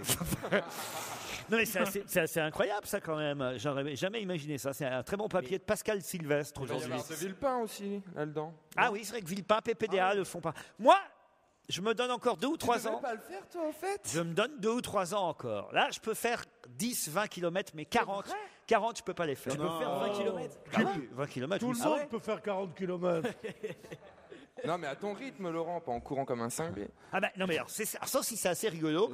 Ce qui est marrant, là aussi ça note, euh, ça dénote quand même du caractère français, c'est que les Français, ils essaient de faire mieux chaque année. Je vous parle pas évidemment des, des- de ceux qui arrivent dans les 100 premiers. Je vous parle de, de- de tous les, les participants. Les 30 ils ont tous un objectif. Alors que dans les autres pays, le but, euh, c'est bon, bah, de participer au marathon, puis d'arriver, euh, de le faire, quoi, d'arriver au bout des, des 40 km. C'est pas d'aller le plus vite possible. Eh bien, chez nous en France, la moyenne, enfin, la, la vitesse moyenne de tous les coureurs euh, baisse chaque année. Alors que dans les autres pays, plus ça va, plus il y a de participants. Et euh, en revanche, ils mettent de plus en plus de temps parce qu'évidemment, plus il y a de participants, plus il y a de nouveaux, plus la moyenne euh, est haute. Alors que chez nous, c'est le contraire. C'est-à-dire qu'il y a une pression sociale. Et il y a quelqu'un qui raconte ça dans le Figaro qui dit Bah oui, euh, avant je mettais plus de 4 heures, mais j'ai des amis qui ont couru le marathon en 3h45. Alors forcément, je me suis dit que moi aussi, il fallait que je le fasse. Attendez, mais c'est Pardon, c'est pas en plusieurs jours le marathon C'est Ah clair comme de l'eau de, de, boudin, votre, votre explication. C'est-à-dire Vous voulez dire qu'en France, ils courent plus vite Voilà. Oui, c'est ça. Ça ne m'étonne pas de ce beau pays. C'est tout. Les autres, ils sont là à se traîner comme des cons.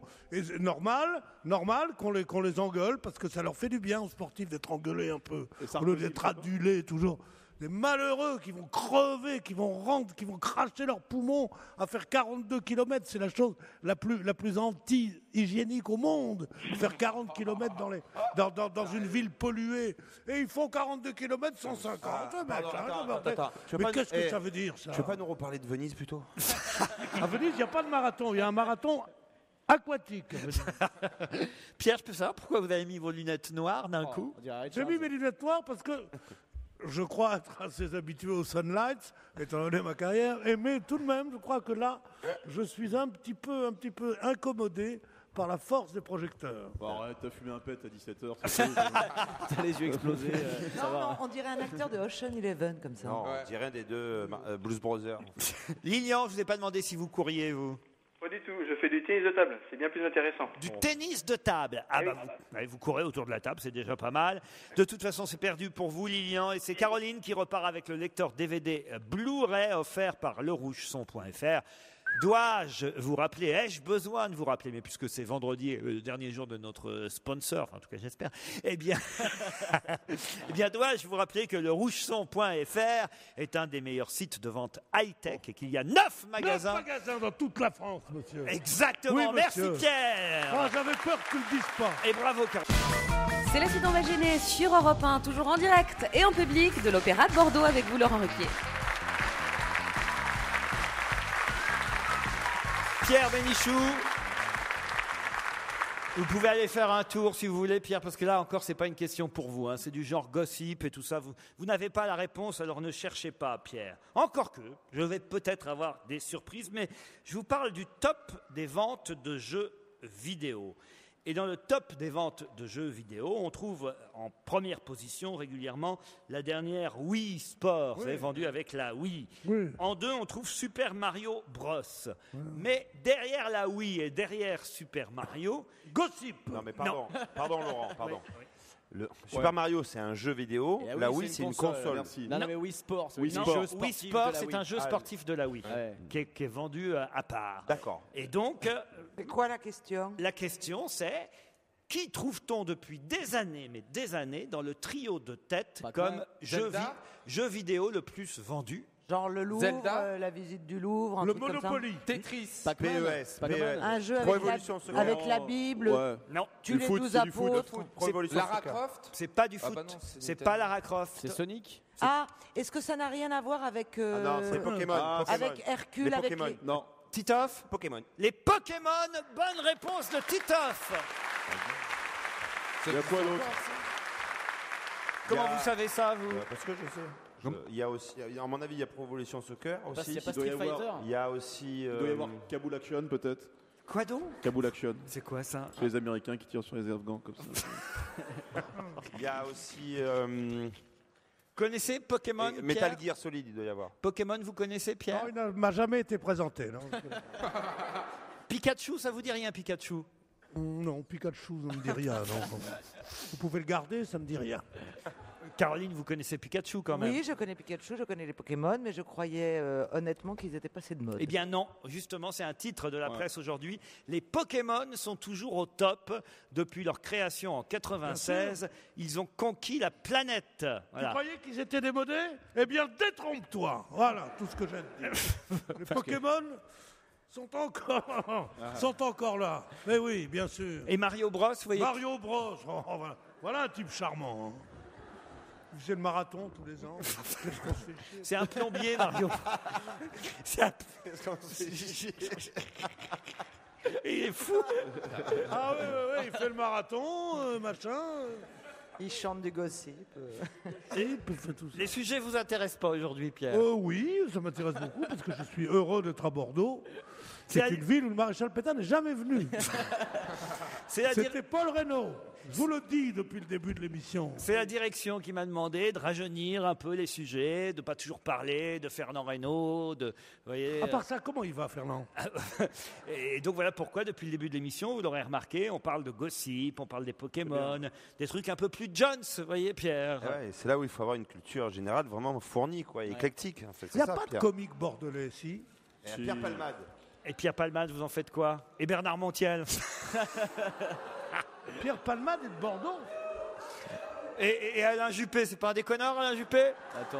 Hein Ah, c'est Et déconnant. Nicolas Canteloup Et Nicolas Canteloup, vous en faites quoi, Nicolas Ah, Canteloup il, est, il est pas de Bordeaux même. Nicolas Canteloup, il est assez loin de Bordeaux. Quant à Juppé, il est de Mont-de-Marsan.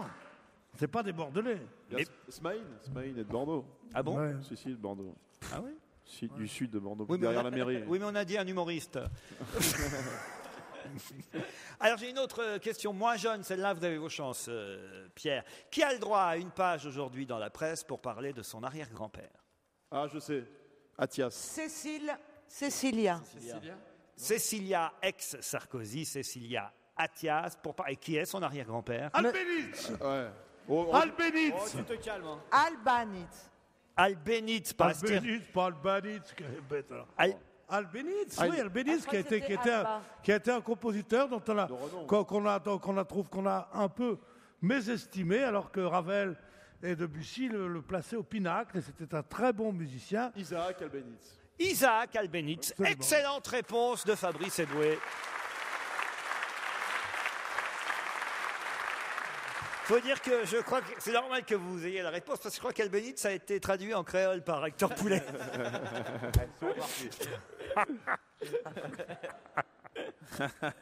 Je crois que le plus con, c'est ton rire derrière. Il est fâché, Fabrice, hein, depuis le début de l'émission. Ouais, vous arrêtez pas de l'emmerder.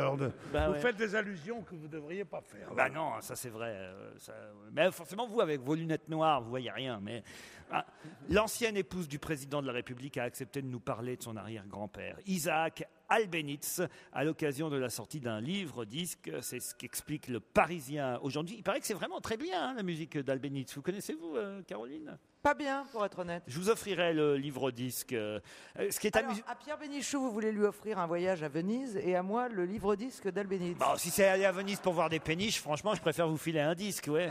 Hein? Oui, mais enfin, moi, moi, même. je- moi, j'ai bien connu la famille d'Albéniz, puisque la- les parents de Cécilia, c'était le, le père, c'était un monsieur qui s'appelait Monsieur Siganer, qui avait épousé la petite fille d'Albéniz. Donc chaque fois que j'allais chez lui pour jouer au poker, on entendait la musique d'Albéniz. Ça nous faisait bien chier d'ailleurs, parce qu'ils n'envoyaient pas les cartes. Mais donc je connais tout ça par cœur. Rue Marbeuf, même qu'ils habitaient la preuve, et lui, il avait une montre en or. Eh, on dirait qu'il s'auto-ennuie quand il parle. Tout seul. Non, mais moi, je peut-être que j'ai pas votre talent, votre verbe. Regarde. J'ai pas votre verbe et votre talent. Non, mais c'est moi, pas ça. je donne C'est des pas grave, informations. Non, mais c'est pas ça. Je Dans les, donne des dans les, informations, moi. dans les 3000 anecdotes qu'il a, il y en a 2500 qui les font chier, quoi. C'est pas l'anecdote, moi. Quelle mode avait lancé Marilyn Monroe, mode disparu, qui revient aujourd'hui Ah, hein le, le, Le petit ventre bidule, rond. pas le bidule, le, le, be- le- la robe là, comment Le ça petit s'appelle ventre le rond. Baby doll. Qu'elle avait Baby Doll, voilà. Alors, Le Caroline, petit ventre rond. le petit Ah ventre rond. Bonne réponse de Caroline. Non, non. Pourquoi elle avait du Elle long était maigre, elle était pas grosse. ventre, Mais ça n'a rien à voir avec le fait d'être grosse. On peut être mince et avoir un petit ventre rond. Mais c'était pas passé de mode. Au Darfour, il continue depuis des Oh, années. C'est son mari qui lui disait ce que j'aime le plus en toi, c'est ton petit ventre si émouvant. Eh C'est bien, vrai qu'elle était superbe et en même temps, elle avait un peu de ventre. eh bien Un peu comme aujourd'hui, moi, tu vois. aujourd'hui, non, il faut être mince, Pierre, pour euh, avoir un petit ventre rond. Mais, Et- euh, et pardon, mais est-ce que pour les mecs, c'est la mode aussi alors, je ne sais pas, mais pour Parce que je suis, euh, Jennifer, Je suis en avance là. pour Jennifer Garner, pour Jennifer Lopez, pour Nicole Richie, pour Kate Moss, pour Lindsay Lohan, eh bien, c'est la mode en ce moment. Euh, c'est même le titre d'un article du Parisien, là encore, aujourd'hui. Chez les minces, les petits ventres sont tendance. Et les la stars, presse, quoi. oui, la presse spécialisée a remarqué effectivement, par exemple, le petit ventre de la comédienne Al Berry, euh, celui de Kate Moss, celui de Shayna Grims, je ne sais pas qui c'est, ça, c'est Ça, ça veut dire que Caroline Diamant, c'est une superstar, quoi. C'est vraiment. Euh, non, il faut que le ventre en fait. Oui, c'est ça. C'est-à-dire, moi, j'ai pris toutes les options. Les fesses de Jennifer Lopez, le ventre. Mais c'est vrai que si, Alors, pas de blasphème. Quand on dit les fesses de Jennifer Lopez, c'est quand même la chose la plus belle au monde Oh, de- depuis, de- depuis la- l'invention de la roue, les fesses de Jennifer Lopez. Comment vous, vous osez en parler comme ça Tandis qu'à parler, parler du ventre sans arrêt, vous pouvez que prendre un bide. Pas mauvaise. Allez, on se retrouve dans un instant. Toutes les vidéos d'Europe 1 à Bordeaux, c'est sur europe1.fr. Le club européen. Avec une initiative qui permet de révéler au grand jour vos talents de comique grâce à IDTGV, juste pour rire, participer à une opération unique, les rails de l'humour. C'est un concours national organisé pour rechercher les comiques de demain. Pour tout savoir sur cette opération et y participer, bien sûr, rendez-vous dès à présent sur le site les rails de l'humour toutattaché.com. Et si vous êtes membre du club européen, inscrivez-vous sur club.europe1.fr pour assister à la finale sud-est à Marseille ou à la finale nord-est à Strasbourg. Club.europe1.fr Et jusqu'à 18h30 sur Europe 1, c'est la suite On va gêner avec Laurent Ruquier en direct en public de l'Opéra de Bordeaux. À ses côtés, Pierre Bénichou, Stevie, Caroline Diamant, Fabrice Eboué, Jérémy Michalak et Titoff. Je voudrais quand même qu'on revienne sur cette tendance, cette mode du petit ventre rond, parce que là j'étais en train de lire la fin de l'article euh, du Parisien, c'est quand même euh, assez, assez incroyable, hein, cette mode qui revient après 50 ans. On attendait ça depuis 50 ans, nous dit-on, Euh, et c'est vrai qu'on nous rappelle que Marilyn Monroe, que tout le monde trouvait sexy, et bien sur toutes les photos qu'on connaît d'elle, elle a un petit ventre, voilà, un petit ventre rond, et c'était effectivement la mode avant que le- la mode ne- change et, et devienne celle de l'abdomen tonique, on appelle ça aujourd'hui. Et il a fallu avoir l'abdomen tonique pendant des années, et aujourd'hui on revient au petit ventre rond.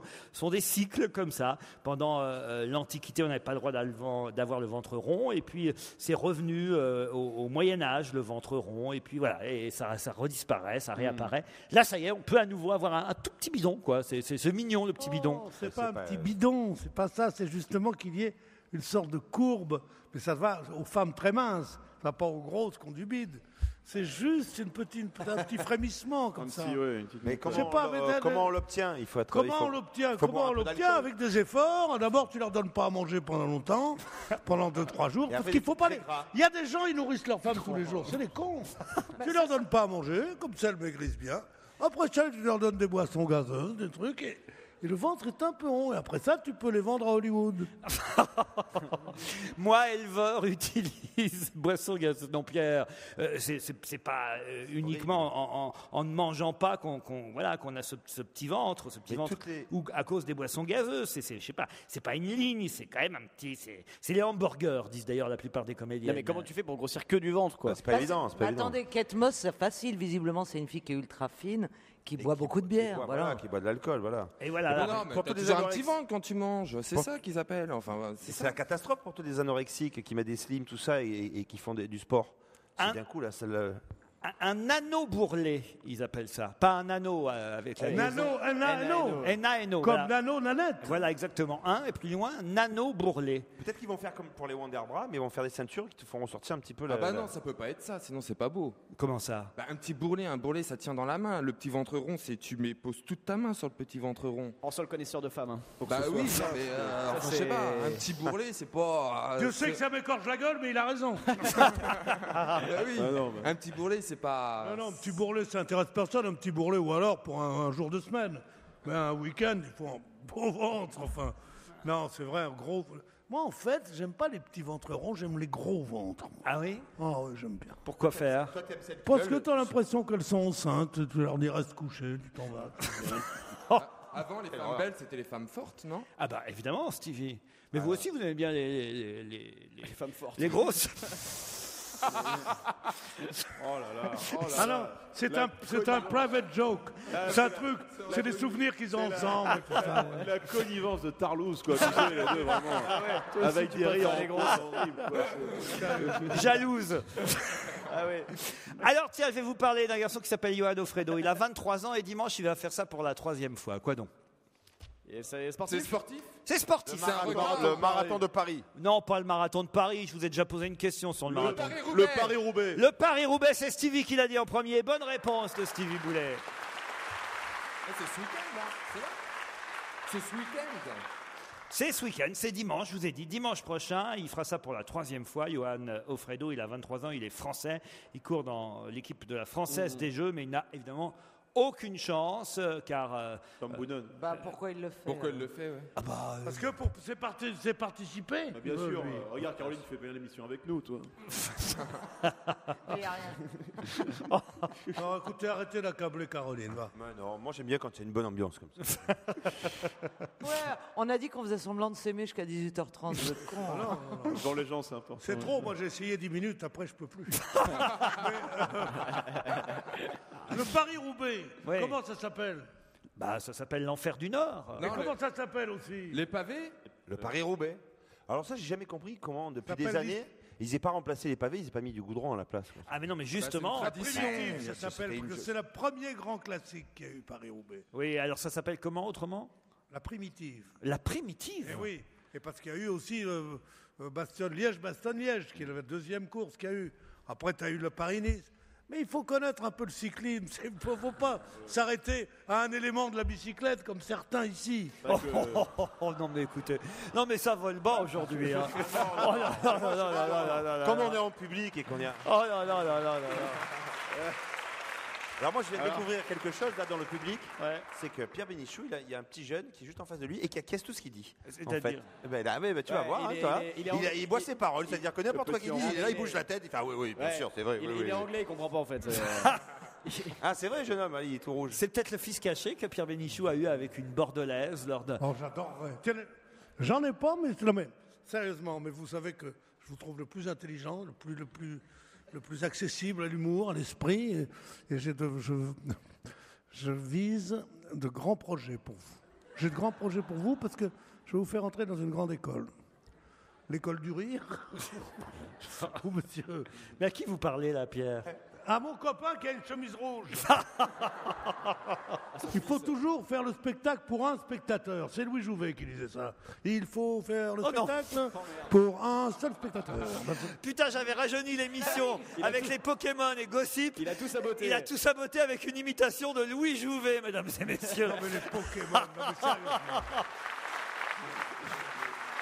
Oh putain Toi, tu penses que Pikachu est plus connu que Louis Jouvet? Oui, oui. C'est vrai que Pikachu est plus connu que Louis Jouvet, Pierre. ça, ça vous fait mal, mais Ah, c'est vrai. défaite. Oui, c'est c'est vache, mais enfin peu importe.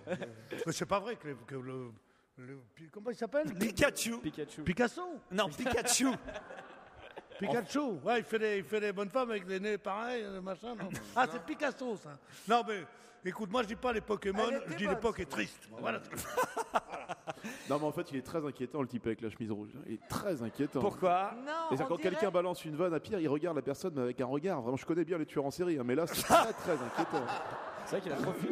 Non, il est. euh, Non, on dirait Eh, le fils caché eh, de, eh, de Las Palais. Faites, pas les cons, il est armé.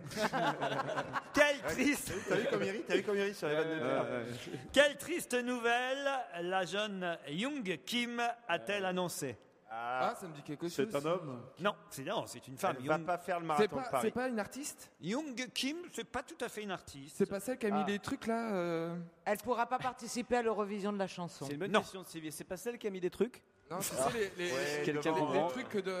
Attends, Ah, tu sais que le machin là. Mais si, elle a fait un truc artistique Oui, voilà. sur, euh, Alors, Stevie. sur, euh, le, le ministère euh, de la Stevie, Culture. Stevie, Du tout. Stevie, tu Elle fais a, un elle mot. a été condamnée à 7 ans de prison parce que. Non, elle a été condamnée à, à plusieurs coups de.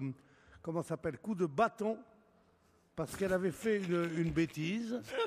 Et puis elle a dit non, non, je veux pas. euh, Dans tes que- rêves Tu peux redire le nom Et, et Ah, en bah, fait. bah, Young- tu vois, et Pierre, même ton fan, il a Paris là, tu vois. Young Kim, Oui, il est viré, c'est tout. Young, En revanche, il sort un couteau là. Young Kim a annoncé une triste nouvelle. Laquelle? En Chine C'est pas en Chine du tout. Et elle est chinoise? Elle est pas chinoise. Young Kim. Bah, tu C'est prononces Young- alors. c'est euh, comme John, John, Y-O-U-N. Ah, Young Kim. Est-ce aux que Yang États-Unis. Kim est une Alors, chanteuse? C'est la fille de Kim Ce Basinger. n'est pas une chanteuse, Young Kim. C'est aux États-Unis? Non, Est-ce que c'est Euh. une sportive? Non, Est-ce que c'est une femme Mais politique c'est un, sur- c'est un surnom, Young Kim Est-ce que c'est une championne non. C'est une chinoise Est-ce que c'est une femme Est-ce que, C'est une femme. est-ce que Yang, Est-ce que c'est un homme Non, je Ah l'ai bon dit. est-ce que Yang Ah, Kim a un qu'on sait rapport jamais. avec le festival de Cannes, Du Laurent tout. Et C'est une pas asiatique Mais non Mais c'est Non. une artiste, malgré tout. C'est pas tout à fait une artiste, ou alors euh, indirectement. mais- C'est une jongleuse Non, C'est une, c'est une pianiste non, Politicienne non, C'est ta sœur. Non. Une marathonienne Ah Tes Miam, souhaits. miam, guili, Miam, guili miam, on va repartir. Rototo Ah, prout Ah, tchoum Pouh. C'est une Mais comment ça se fait que j'éternue au moins une fois par émission? Ça, c'est quand même bizarre. Bah, alors. c'est la drogue, ça. Attendez, on n'a pas trouvé la profession de cette pauvre fille. Mais on s'en fout de sa profession Attends, à c'est Young quoi Kim. la, triste nouvelle Genre, elle avait un chien qui est mort Voilà ce que Si je tu vous... pousses un peu plus loin le raisonnement, on se fout de sa profession, on se fout de la nouvelle qu'elle a annoncée. Mais non, et justement. on se fout d'elle. Voilà, Ma c'est question, tout. c'est ce qu'elle Et a on passe annoncé. à une autre question, à une autre question. Par exemple, une question qui a créé les feuilles mortes Ok, j'ai compris. Vous dites Yves Montand. Et alors là, vous êtes bon. Elle a annoncé une triste nouvelle, alors à ce moment-là, on s'intéresse à qui? S'agit-il d'un décès? Oui. D'une- Elle Bien, a annoncé la mort. C'était ah la oui. femme de quelqu'un de Non, connu. de, de, de, de De ce. old- old non, non, non, excusez-moi, taisez-vous tous. Elle Est-ce- a annoncé la mort de ce Est-ce que chanteur c'est- qui est mort à l'âge de 65 ans. Alors- Il est mort dans la nuit de jeudi à vendredi. Alors, est-ce que c'était Quel la Le femme... chanteur père du punk. Est-ce que c'était eh la ben, femme de le Marie C'est Le père du punk. Bonne réponse de Pierre Voilà. Bénichou. Voilà. Son nom m'échappe. Il s'appelle Malcolm Tous les McLaren. amateurs de punk. Malcolm McLaren qui était le manager de Sex. Pistols.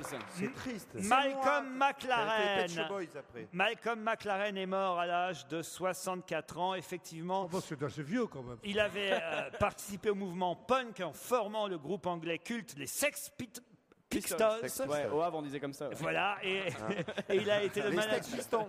Et il a été le manager des New York Dolls, Ouais. un groupe américain précurseur. Et c'est Pierre, le plus punk d'entre nous, finalement, Ah bah ouais. euh, qui a trouvé la bonne réponse. Et elle, Et, Vous savez, et- quand j'étais et il, a jeune, on créé, m'appelait. il a créé un mouvement aussi, Ah oui. une forme de philosophie, de- d'a- d'arrêter de, la surconsommation, et c'est-à-dire de- d'être sur le minimalisme, de porter Ouais, le même ouais. basket, tout ça. Moi, on m'appelait, on m'appelait l'Iroquois, moi, quand j'étais tellement punk, j'avais cheveux. Vous m'avez pas vu l'année dernière? J'avais les cheveux verts, les yeux c'est vrai que c'était- c'est vrai que l'année dernière, c'était encore la mode des punks. Mais t'avais, t'avais une crête, ça se passait comment ça Oui. Et la Un kippa rentrait quand même dessus. Ah oui, ça y est, tu l'as fait. C'est bon. Qu'est-ce qu'il a dit Ça y est, il a fait, il a, Il a il a dit fait, quoi il Il a a fait la blague antisémite. il a fait la blague antisémite. Ça y est. On dirait Un gars, un mais gars, balle au centre. Ah, les modernes, là. hein. Pierre Moi, ce qui Bénichou. me retient. Écoute, on serait à Paris, on serait pas à Bordeaux où je connais personne. Il y a longtemps que je me serais tiré de cette émission. Et alors, Young Kim, dans tout ça, bah, autant vous dire, c'est la compagne, euh, évidemment, veuve. Aujourd'hui, on peut dire que c'est la, c'est la Yoko Ono du punk, en quelque sorte, euh, euh, Young Kim. Bonne réponse de notre punk, Peter Bénichou. On va gêner se poursuit sur Europe 1, toujours en direct, toujours en public de Bordeaux et surtout avec Laurent Ruquier. Qui va tester pour la première fois, avant peut-être d'étendre cette idée sur tout le territoire, qui va tester pour la première fois dans le quartier de la Gare de l'Est la livraison à domicile? Comment ça, ça existe partout le livraison à domicile Mais Pas de tout. C'est pas Ah, clair. du, euh, de, euh, non. À Flelou Je vous demande qui euh, bien, de- la Ah, c'est une enseigne. qui- Voilà. D'accord. McDonald's. Quick. Non, c'est pas vrai. C'est Quick, bonne réponse de Stevie et Titoff. Ah, mortel. Ah, c'est génial. Ah, la bonne nouvelle du jour. ouais. Ah ouais. Bah, la bonne nouvelle du jour, on n'est quand même pas déménagé près de la gare de l'Est Ah, si, pour, si, si, si, pour je être suis livré capable. par Quick. C'est quel arrondissement ça? Ah bah c'est euh, le 10e 10e. arrondissement et effectivement la gare de l'Est. La chaîne Quick euh, teste depuis euh, le 9 mars dans son restaurant de la gare de l'Est la livraison à domicile. Impossible. La zone de livraison est limitée à un trajet de 5 minutes en mobilette. Les prix sont les mêmes qu'en magasin, mais Quick teste un montant de commande minimal pour être rentable. L'expérience doit durer 3 mois avant que peut-être tous les Quick de France livrent à domicile. la Ça va trop chose bien. intéressante serait de savoir, excusez-moi de vous, de vous presser comme ça, mon cher Citron, je voudrais que vous me disiez euh, quel, est, quel, est le, le- le- quel est le Oh, montant vieil humour français Quel est, quel est- ah bah Son- oui, son fan- Calembour. Son quel, fan euh, s'est fait pipi quel dessus, est le carrément. montant minimal. Parce que moi, par exemple, je suis avec Mme Bénichou, on voudrait deux quick. Je dis, vous pouvez me livrer hein, Une supposition, j'habite Gare de l'Est. Il me dit, avec plaisir, monsieur. Mais Bien, monsieur c'est- Quick c'est- and vous en achetez pas assez, alors s'il faut en acheter 10. Eh oui. Et puis D'ailleurs, quand tu commandes, tu sais, je voudrais un, un hamburger avec des patates coupées en tranches, euh, des frites. Euh, Ah non, je crois que c'est. Il faut vraiment, il faut louer pour un pensionnat, quoi. Elle était pas bien ça Non, mais je voudrais savoir à partir de combien il y a- on livre. Il y a eu un grand moment d'incompréhension générale, ça a été assez difficile. Je me tais parce Ça que je crois que je suis un du bide. côté Non, mais- bide de la table. Tout le monde est Petit très- ventre Vous êtes du côté petit ventre Tout le monde est très gêné en tout cas. C'est même dans la salle, ils sont gênés. Oui, oui, c'est ce qu'on appelle un bide. J'assume. Je suis un peu comme Paul Reynaud. Moi, je fais une fin de carrière à Bordeaux. moi. Non, vous, c'est plutôt Fernand, vous voyez. Paul ou Fernand Reynaud, peu importe, Pierre, mais vous avez dit une bêtise. Euh, vous pensez bien que si on peut euh, se faire livrer à domicile des Quick, c'est un, on- à partir de un, j'imagine, Mais ou non, deux. Je vois pas pourquoi il faudrait commander 10 Quick pour Mais se non, faire. vous non. venez de dire vous-même, le, le truc est, est- est proportionnel. Mais ou oui, la- non, mais- il il Général- non, mais généralement, quand tu vas dans un fast-food, tu prends un menu. C'est sûr que si tu appelles pour commander une salade et c'est tout, Si ça va pas le faire. Pas une salade. Il C'est donc qu'il faut, il faut avoir plus d'un hamburger et une Ah salade. oui. Mais si t'appelles pour juste avoir le gros cornichon de l'hamburger, c'est Ouais, possible. Ben non, mais j'imagine qu'il faut peut-être deux quick. Deux allez. menus, Bah oui, voilà, il mais faut c'est deux ça qui est intéressant. C'est des commandes de 10 Deux euros. menus, un donc comme ça. 15 euros, voilà, en gros. Non, mais Mais ça va trop bien marcher, à mon avis. Pour 15 euros, moi je vais la chercher à la gare du Nord, moi, le, le- le hamburger. Ça va pas, non? Ah, mais c'est quand même une révolution parce Ça que fait des- ça fait des années qu'on attend ça. Ça va trop bien, ça va trop bien marcher. C'est pas une impossible. Il révolution. faut que tu ailles essayer au moins une fois, déjà. pourquoi vous pensez que ça marchera pas vous, Au Tito contraire, ça va trop bien marcher, à mon Bien avis. sûr. Ils vont pas pouvoir suivre, il va pas y avoir assez de livreurs. Oui, ouais, c'est évident. C'est évident, les gens ils sont chez Ça eux, le dépend. dimanche après-midi par exemple, les- ou les soirs de. de, de- Non, de- parce que Des dans, soirs de match. dans le dixième, t'as pas des quicks partout. On est obligé de bouffer du McDo. Non mais c'est vrai, j'ai habité dans le dixième, je peux vous le dire. Et moi c'était triste d'aller donner de l'argent aux Américains qui sont euh, sur euh, Il a pleuré, il a le pleuré en chemin. Nouvelle. Bah ouais, Il moi a je fais chialé en marcher mangeant son l'économie Big Mac. européenne Mais avant bien tout. sûr. Donc j'ai Ouais. mangé chez Quick. C'est vrai que ton Et c'est t-shirt. meilleur. euh, Non mais franchement Non, mais c'est c'est vrai, meilleur. C'est meilleur. Le mec, il fait Ah le non, José- non, non, non, non. Il fait José Bové avec Abercrombie marqué en gros sur ça, sa ouais. poitrine. c'est- c'est vrai. Il a un t-shirt Abercrombie, il est en train de nous vendre quick contre un ça. McDonald's. Oui, non, mais c'est pas- Parce qu'il est persuadé qu'Abercrombie c'est un français. Ouais. Et Et le non, pire, puisque c'est je te dis que j'allais chez McDo, malheureusement, alors que je préférais Quick, mais c'est une question de goût, Quick. Et le mec joue l'anti-américain, il se fait appeler Stevie alors que tout le monde sait que tu t'appelles Youssouf. Je non. Ça va quoi. Allez, d'autres questions dans un instant. On est bien sur Europe 1, c'est normal. Jusqu'à 18h30, si on reste gêné, toujours en direct, toujours en public de l'Opéra de Bordeaux, avec vous, cher Laurent Ruquier. Avec un public bordelais toujours aussi formidable.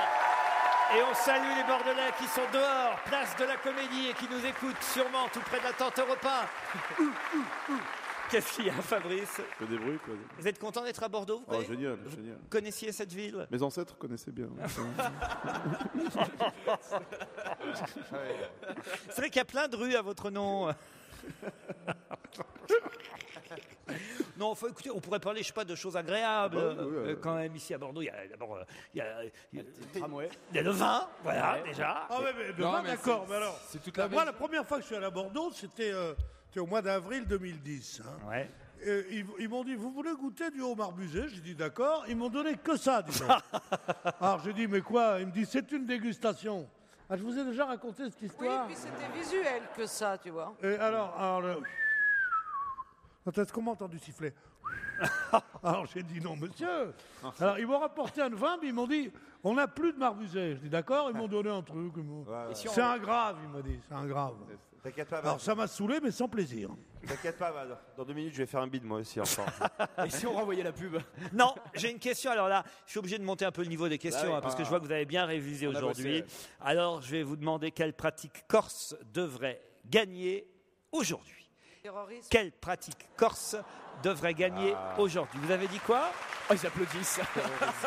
Elle a dit le terrorisme. Terrorisme on, on aura tout fait aujourd'hui. Les paillotes. On n'en aura pas raté une. Ouais, qui on a épargné, ça c'est plus. Ouais, Les paillotes Ouais. Comment ça, les paillotes Expliquez alors. Bah, le droit de faire, de faire, de construire des paillotes. Non, réfléchissez un peu. La vendetta Pardon. La vendetta. Ah, mais oui, bien sûr. Michael Vendetta, Michael Vendetta. Vendetta. Michael Vendetta, Vendetta, bonne réponse de Titoff Ah non Par hasard, hein. Non, c'est. Bah, quoi Qu'est-ce que c'est, Bah, Michael la Vendetta la- la Oui, tradition. par hasard, vous avez dit la Vendetta, mais vous pensiez pas à Michael Ah non, Vendetta. c'est comme ça, non, mais la Qui question c'était Michael quelle. euh, Vendetta Mais la question c'était Vendetta. Il fallait répondre pas, fallait pas répondre la Vendetta, fallait répondre Ah oui. Vendetta. Mais qui est Vendetta Mais les civils, Oh quelle non, Pierre tradition Mais Ça- qui c'est Laurent, Pikachu C'est le beau-frère de Pikachu, laisse tomber. Michael Vendetta, c'est lui qui devrait gagner ce soir, Pierre, la ferme célébrité. Oh, t'as- mais eh. qui meurent tous T'as vu la Qui finale meurent un incendie on, on met, on, on met une- le machin, le, on met le feu à la grange et ils crèvent tous. De- non, mais de- ils mourraient tous. Hein? De qui, pour qui t'aurais de la plaine Pour personne. Oh, bah, quand même. non, c'est un abaissement. David extravagant. Charvet, on a tous regardé Alerte à Malibu. David Charvet, s'il revient vivant, il me casse la gueule, mais s'il meurt. Mais t'as vu la finale Non, le quand plus même à plaindre, ce serait peut-être l'autruche finalement. Oui, oui, oui. Les, les trois finalistes, vous les connaissez? Greg Ouais. le millionnaire, enfin Grégory Basso, euh, David Charvet, Et Michael Vendetta. Vendetta. Et Vendetta. Et Vendetta. Ah, c'est lui, C'est qui une belle va- finale, c'est une belle finale. c'est lui qui va gagner, Vendetta, Hop, évidemment. hop, hop, hop, hop, hop, hop, hop. Tu sais pas Greg, qui il est bon aussi. Ah hein. ouais, vous, Ah ouais. vous le connaissez, Greg? Très bien. Racontez. Non, je, je t'ai déjà raconté, mais c'est ridicule. Si. C'est qu'un jour, je vais dans une, dans une boîte de nuit sur la côte de, près, de, près de Nice, et, et ils ne voulaient pas laisser entrer des gens, il y avait trop de monde, c'est une inauguration. À la fin, j'arrive, je suis projeté dans un truc et je vois une sorte de, de, de saint des saints, comme ça, euh, avec des gens qui se prélassaient et tout, et je regardais comme un plouc à la porte, et il y a un mec qui me reconnaît. et qui me dit Pierre il vient vers moi et il me dit Putain, ça fait plaisir de se voir entre gens de la télé. T'es content? Je m'assois avec les personnes et je dis Qui c'est? On me dit Tu connais pas Greg le millionnaire? Je dis non. Bon, alors donc, Greg le millionnaire, pendant c'est à la vie, à la mort avec moi. Ah bah donc- Personne. Oui, mais il va mourir dans la. ça me fait de la peine. Entre jeunes de la télé. Bah, ce soir, faut voter pour lui alors, Mais Pierre. je vote pas, moi. Bah si. euh, Non, je vote déjà pas pour. pour... Moi, franchement, je trouve que le gagnant, ça mériterait d'être euh, Michael Vendetta, parce Moi qu'au moins, il, il a tenu l'émission sur les épaules depuis le début, non Qu'est-ce que vous en euh, Ouais, ouais. Fabrice Non, l'émission lui doit beaucoup, c'est vrai. L'émission, oui, mais après, euh, bon. Ouais. Tu votes pour qui, Bah, si ce qui- hein ce qu'il y a, c'est que quand tu vas dans une ferme, c'est pour t'occuper des animaux, être, Parce faire que quand moi, même j'ai- un minimum, le ménage, participer moi, aux j'ai tapes quand même ménagères, faire beaucoup, plein de choses. Il d'auditeurs. n'est pas con comme ça tous les jours. Moi, lui. j'ai- beaucoup Je sais d'auditeurs pas, mais- qui m'écrivent et qui me disent qu'on pourrait peut-être engager dans notre équipe comme chroniqueur pour renouveler un peu, que Stevie commence à être fatigué. Non, que, non. que- Bah, c'est bien être remplacé par Michael Vendetta, si Ouais. le public On a veut. déjà Evangeli. Hein, euh, Regardez, le, regardez le Stevie comme il me regarde Ouais. avec des yeux d'inconnu. Non, non, non, bah dis. Non, mais Oh, Evangélie, eh, pas Attends, ça fait 10 ans que je suis là, moi je Sois commence à Eh tu vois vieux. qu'il est temps de coucher, mon petit con. Ça fait 10 ans qu'il est là et on apprend aujourd'hui qu'il s'appelle Youssouf.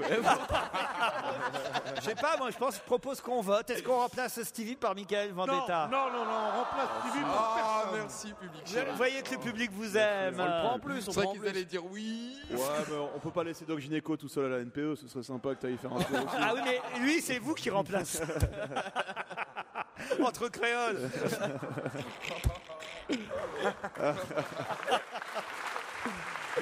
Ah là là là là. Espèce de gros PD. va. J'avais plus- rien, j'avais plus rien du tout. Excusez-moi, il y a maman un autre, on a plus rien, on insulte bêtement. C'est tout. Quand il te dit ça, tu lui réponds Ah, rendez-moi ma Guadeloupe et ma savane. Et puis les champs de bananiers au mois suiné. Jusqu'à quand on va se laisser emmerder parce qu'on est homosexuel? Sérieusement, sérieusement.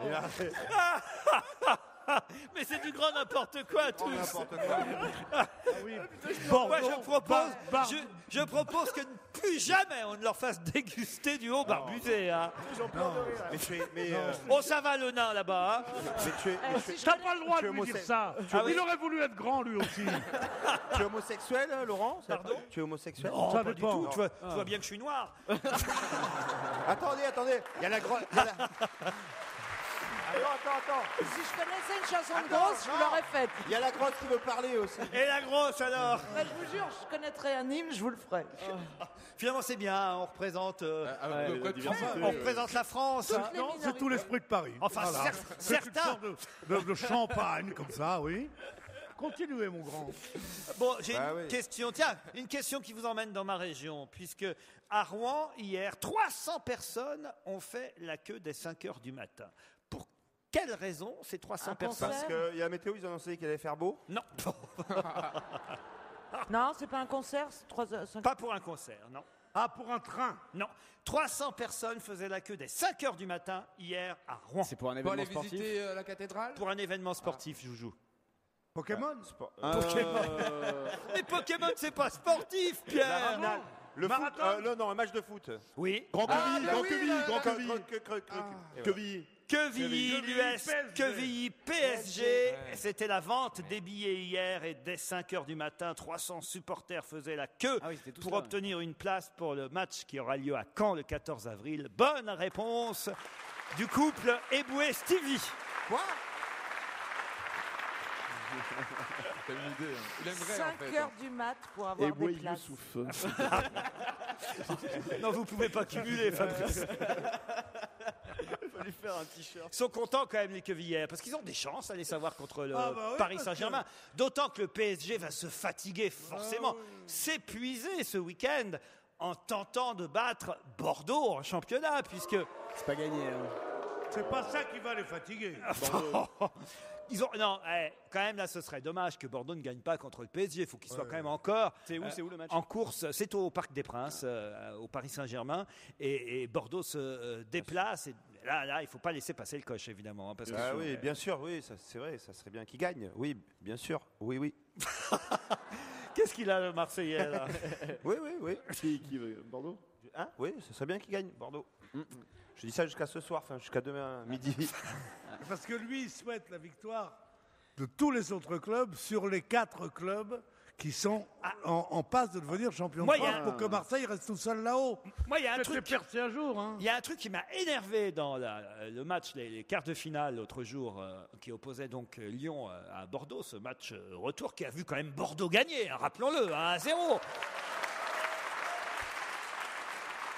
Mais se faire éliminer quand même, hein, je vois pas pourquoi vous applaudissez. Mais bon, il y avait un penalty, il y avait un penalty. Moi, ce qui m'a énervé, c'est que j'arrive, j'avais, lu- j'ai loupé les cinq premières minutes du match. C'est- Mais, mais pendant tout le match, ça m'a gêné. C'était que les, les- les Lyonnais étaient en, en- en- Ah oui, en- oui. en bleu et les Bordelais euh, en rouge. En rouge. Ouais. Moi, j'ai, j'ai- enfin, dans ma tête, j'ai toujours vu à peu près euh, le contraire, quoi. C'est C'est-à-dire le sponsoring, ça. ben oui, mais c'est pas normal. Bordeaux en rouge, non. Enfin, à part le vin, mais autrement, euh, euh, l'équipe, elle est plutôt euh, euh, enfoncée, bleue. euh. du tout. Ah mais Moi, si. je c'est vous Pas dire, j'ai raté les 90 premières minutes. Ah oui. Eh, C'est comme la jeune mariée. Hein. Oui. Ah oui, vraiment, ce côté de la table. C'est comme la jeune mariée. euh. Allez-y, Pierre. Oh, attends, il Mesdames et le messieurs, jour- le jour mesdames de- et messieurs, c'est juste pour le jeune homme en rouge. Allez, vas-y, Pierre. Le jour, le jour de son mariage, euh, le matin, elle est, elle est, elle est en, en clair, et le soir, elle est en foncé. Oui, c'est bien, Pierre. Oui, Pierre. Ah,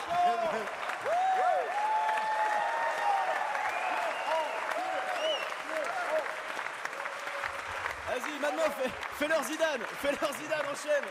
Je me demande si je vais pas engager Michael Vendetta. hein. C'est facile de.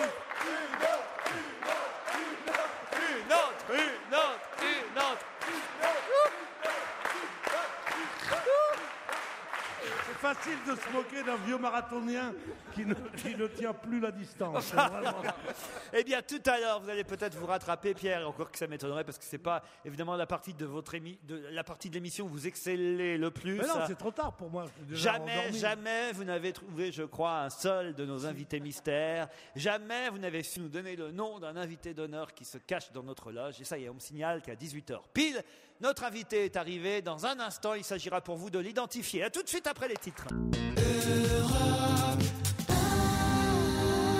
Europe 1, on va se gêner. Un invité caché dans une loge. C'est le moment de la loge d'honneur. Ces dernières semaines, nous avons vu passer dans notre loge d'honneur aussi bien Patrick Poivre d'Arvor, Grégoire, Romain Duris, Hélène Ségara, Alizé, Pierre Lescure, Adriana Carambeu, ou hier encore Tété, le chanteur Tété. Qui est là aujourd'hui? Est-ce que c'est quelqu'un d'ailleurs qui est à Paris dans un studio caché ou quelqu'un qui est ici à Bordeaux? Ça, vous n'avez pas le droit de poser la question, bien sûr, je le rappelle. Pas de question non plus sur l'actualité euh, du moment de notre invité. C'est quand notre invité nous rejoindra euh, que, euh, on pourra en parler avec lui ou avec elle. Mais pas de question non plus sur son âge, car ça c'est inélégant. Vous, hein, je rappelle les règles à tout le monde là. Même les questions, on n'a pas le droit. Et quoi. puis quand vous avez une idée, évidemment, avant de donner un nom, euh, vous vérifiez d'abord en posant une question pour préciser ou confirmer, on va dire, l'idée que vous pouvez avoir. Les règles étant posées pour les chroniqueurs, je salue donc notre invité. Bonjour. Bonjour Laurent, bonjour à tous. Oh, la voix n'est pas suffisamment déformée. Je, je pense que c'est un J'ai homme. trouvé. Je pense que c'est un homme. hein. Ah, ah, là, là, là, C'est là, là, il y a un Pikachu. problème. À Paris, on n'a pas déformé la voix. Alors, on va arranger ça. L'invité, il va falloir auto-déformer votre voix. Voilà. Allô? Oui, Oui. Ça va mieux c'est pas déformé, non. Non, c'est toujours pas déformé la Ça y est, on voix. sait qui c'est, quoi. La première fois que ça arrive. J'ai trouvé. Ah ouais, Comment t'as trouvé ah ouais. C'est Alors, une gonzesse. En tout cas, c'est sûr, c'est une femme, ça, Bah oui. c'est évident, mais il va falloir qu'à Paris, on, on fasse attention. Est-ce qu'on fait des tests à Paris euh, avant de redonner la parole à notre invité Peut-être d'honneur que madame, vous pouvez déformer vous-même votre voix, Ouais, peut-être c'est ça. euh, si on n'a pas les moyens techniques. ça peut frôler le ridicule. Hein. Ouh là là. Oh oui, c'est chaud. Non, ouais, c'est pas assez déformé, euh, on reconnaît la voix. Alors là, il y a Ah, ouais, moi, je un joue gros pas- souci. C'est-à-dire qu'en fait, outre la voix déformée, on entend la vraie voix derrière. C'est Ouais, ça ouais, le problème. Moi, Laurent, j'ai trouvé. Je, je peux retourner à l'hôtel parce que j'ai j'ai- On j'ai peut trouvé finir. qui c'était. Donc Si ça on sert trouve, on plus à finit rien. plus tôt ou pas Laurent, on peut vous laisser avec l'invité d'honneur, on a trouvé qui c'était. C'est vrai, tous Non. Ah, bah bah, non. bien sûr, attends, une impossible. voix comme ça, c'est franchement, ça se reconnaît. tout Pour moi, c'est jouer star. C'est jouer star. Alors attention, est-ce qu'à Paris, le problème est réglé?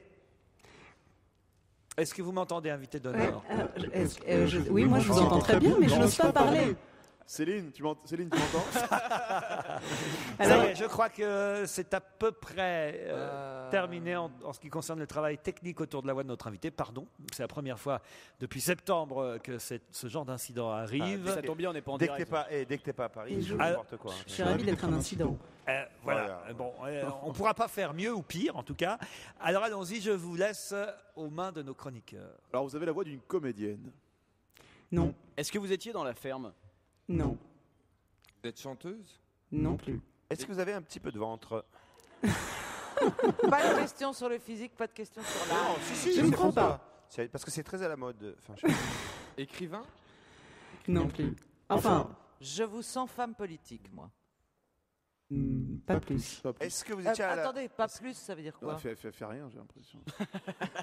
Ouais, en fait, il y, avait vous une, il y avait travaillez, une euh, fille qui passait... euh, Vous travaillez dans la même société que Doc Gynéco Je ne suis pas renseignée sur Doc Gynéco. Est-ce que vous étiez à la maternelle avec Pierre Bénichou? Euh, Ça paraît peu probable. D'accord. voilà, ok. Attendez, mais pas- Ah, est-ce que... euh, on n'a pas êtes- trouvé sa profession. Vous êtes sportive? Euh, ça m'arrive parfois. Non, mais c'est pas votre boulot d'être Non. sportive. D'accord. Vous travaillez que- en télévision Oui. Vous êtes présentatrice. Ah. Euh, oui. Ah, faites la météo. Non. Tu. Alors attendez. Ah, vous, vous faites le, le service autoroutier pendant les vacances Je vais essayer. Faire pour demain, Bordeaux. Ouais, Ne personne. répondez pas pour l'instant, on va les laisser Ouais. réfléchir, puis surtout on va essayer de régler euh, les problèmes techniques qu'on connaît à Paris. Le temps de quelques réclames, on se retrouve après. «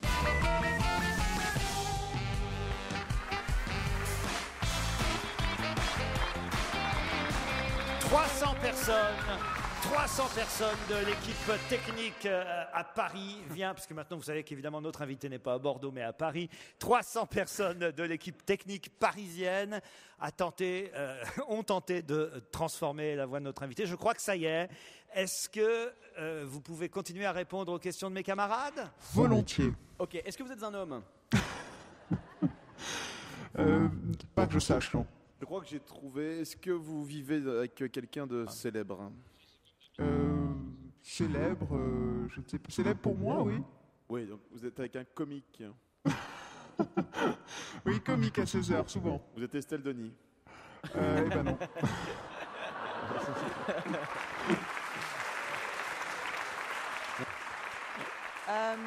vous avez, ah, vous faites, de- attendez, vous faites des réponses euh, quand on vous a dit météo, vous dites non, mais ça n'a pas l'air franc. Mhm. Quand on vous demande présentatrice, vous dites oui. Ça Euh, ça veut dire franc. quoi Vous êtes journaliste? Aussi. Aussi. Ok. Est-ce que vous êtes une nouvelle arrivante sur France 2 Non.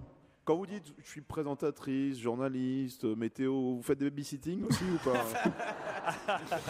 Cette corde manque à mon arc, mais ça peut être l'occasion après, après l'émission. Et est-ce que vous êtes plutôt sur TF1 Euh, J'ai été sur TF1. D'accord. Vous Est-ce- êtes en binôme aussi Euh, Vous faites non, une- plus que ça. Et en bid- est-ce que... est en taxi. Ouais. Est-ce que vous... Ah. oui. Pas plus que ça. ouais. Vous êtes. Je l'ai pas- Alors attends, non, non. Je l'ai pas Alors compris, peut-être vous êtes ambidestre. euh. Merci. Ou en bicyclette Euh, est-ce Vous êtes que- ambitieuse Vous êtes, sur, vous êtes sur une chaîne hertzienne Je suis sur des chaînes hertziennes. Deux Ah oui, carrément. Donc c'est France Télévisions. Et Oui. plutôt dans l'information Non. Plutôt le matin à 7h Non. Vous êtes chroniqueuse dans des émissions? Non, pas vraiment. Vous avez votre émission à vous Euh, oui, une. Vous portez des lunettes Une. Et après, vous, vous participez à d'autres émissions. Voilà. Vous êtes Donc brune euh, j'imagine que vous travaillez à la télé. quoi. Entre autres. Vous portez des lunettes Vous êtes brune Non, non, non, je ne suis pas brune et je ne porte pas de lunettes. J'ai un premier indice pour vous. Ah, j'ai trouvé.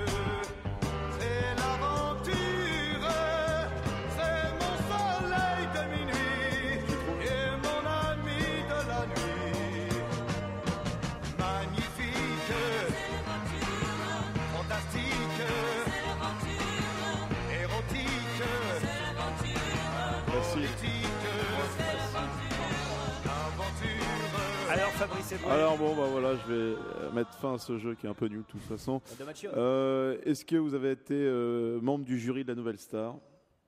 Non, pas du tout. Quel rapport avec l'indice? À qui vous Est-ce- pensiez? Marianne James. Et pourquoi l'aventure c'est- Ah, parce qu'elle est pas allée faire en terrain inconnu Ah. Est-ce que est-ce que c'était vous qui chantiez là? Est-ce que vous, vous avez compris l'indice? Oui, bien sûr. Ah, vous avez joué dans ce film? Ah non, vous n'êtes pas comédienne, vous avez dit. Est-ce que vous avez eu des aventures euh, extra-conjugales Avec un des comédiens. Non. Est-ce Vous avez connu personnellement un des comédiens, pardon? Oui. Est-ce Ah. que vous faites le marathon dimanche? Est-ce que vous venez boire un verre avec nous ce soir? À volontiers. Est-ce que vous êtes connu? Euh, alors euh, oui, alors est-ce que est-ce que? Attendez, vous, vous animez une émission de télé, vous êtes chroniqueuse dans une autre émission de télé. Hmm, oui, chroniqueuse, c'est pas le terme, mais on- peut dire. Intervenante, est-ce que vous avez fait une émission sur euh, sur France 5 Oui. et que vous ne faites plus Euh, non, non, ça continue. Est-ce que vous étiez sur la 5 avec Jean-Claude Bourret et tout ça Alors rendez le pognon Non plus. Un autre indice musical. Moi aussi, ça tombe bien. Pour manger les tartines, dévaster le frigo, danser dans la cuisine, faire valser les gâteaux, tenter des galipettes sur un air de mambo. C'est bon, c'est bon. C'est Loula la voisine, la diva qu'il vous faut. Un peu de ceci, un peu de cela. Regardez bien, c'est délicat. Un peu de céleri, un peu de soda. Les recettes de Loula. Moi aussi, ça tombe bien. Crois qu'on a tous trouvé. Est-ce que je peux vous demander une chose? Est-ce que votre mère est une actrice célèbre? Oui. Et je vous- j'ai trouvé qui vous étiez. Alors allez-y. Vous êtes mademoiselle Andrieux. Oui. Julie Andrieux, bonne réponse de Pierre Bénichou. Alors là.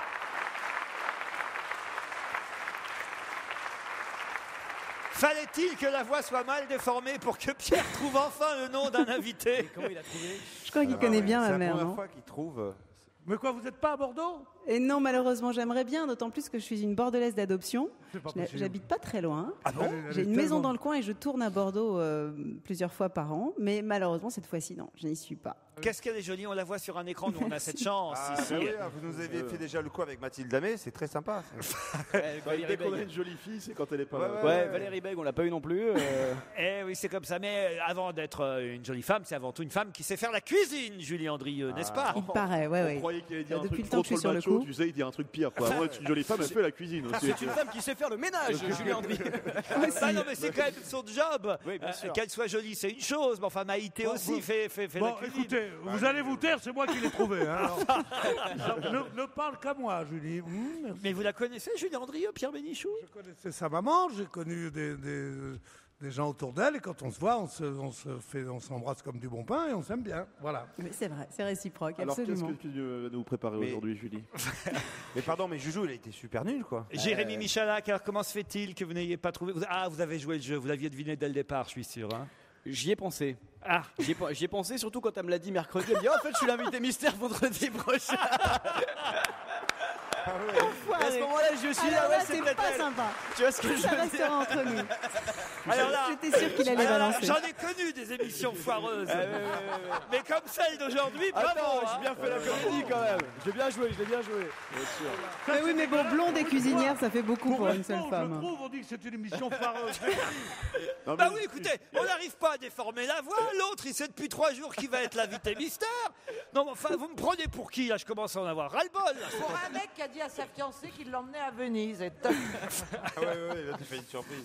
Bon, en tout cas, on peut peut-être euh, expliquer le premier indice musical qu'on a entendu euh, tout à l'heure. Euh, euh, l'aventure, c'est l'aventure. Et oui. C'est l'aventure, c'est mon soleil de minuit et mon ami de la nuit. Un film dans lequel jouait votre maman, Nicole Courcelles, qui jouait l'épouse de Lino Ventura. C'est bien ça? Absolument, ouais, cette scène anthologique de la voiture euh, avec Patron m'appelle pas Patron. Il y avait la reine des putes euh, et c'était maman. Voilà, c'est difficile à porter, 15 ans de psychanalyse depuis, mais euh, je l'adore. Mais vous-même, vous n'avez pas cherché à être. Être une comédie- pute, non. À la maison seulement. C'est vachement bien adapté à l'émission. C'est vrai que votre question partait bizarrement, Laurent. Mais la reine, hein, dans ces cas-là, je ne suis que la reine. Euh, Non, mais c'est honteux de dire ça. Une femme, elle, est- elle dit- elle- elle- elle Non, se- croit obligée de dire oui, je suis pute à la maison. Et, et à- et à Non, je ne me crois pas la obligée, voulais Par ailleurs, votre à question. comédienne, c'est ça que je vous demandais. Non, surtout pas. Alors honnêtement, euh, avec tout le respect que j'ai pour ma maman et pour euh, des- les- mes amis comédiens, c'est un métier que je respecte énormément, mais c'est pas du tout mon truc, mais pas du tout. Non, Bon, non, je, on- je tiens à garder mon intégrité intellectuelle. On a Donc, entendu euh, ensuite le générique d'une série euh, pour enfants, les recettes de Lula. Ça, c'est pas vous hein, qui euh, évidemment animé cette émission, mais c'était pour mettre euh, mes camarades sur la piste de la cuisine. Ensuite, on allait entendre d'autres euh, génériques d'émissions et évidemment celle que- à laquelle vous participez avec Jérémy Michalak. C'est à vous sur France 5. Alors vous, c'est une semaine sur deux hein, en, en alternance Ouais, avec ouais, Babette je- de Rosière. Voilà, quand je suis à Paris, parce que c'est vrai que je voyage beaucoup pour une autre émission Ah euh, oui, qui oui, est oui. diffusée sur France 5, donc Fourchette et Sac à dos. Je vous ai vu, moi, dernièrement, c'était, je crois, à Tahiti, ça avait l'air difficile, hein, Oui, comme, comme boulot. c'était très très difficile. C'était pas si facile que ça, Tahiti d'ailleurs. Mais euh, là, on est, on- enfin, je repars et j'ai fait beaucoup de voyages cette année. Je continue et donc l'émission va reprendre en diffusion euh, cet été, toujours euh, sur France 5 à T'as croisé, 20h30. t'as croisé Carsozon à Tahiti, non? Euh, non, j'ai pas eu cette chance.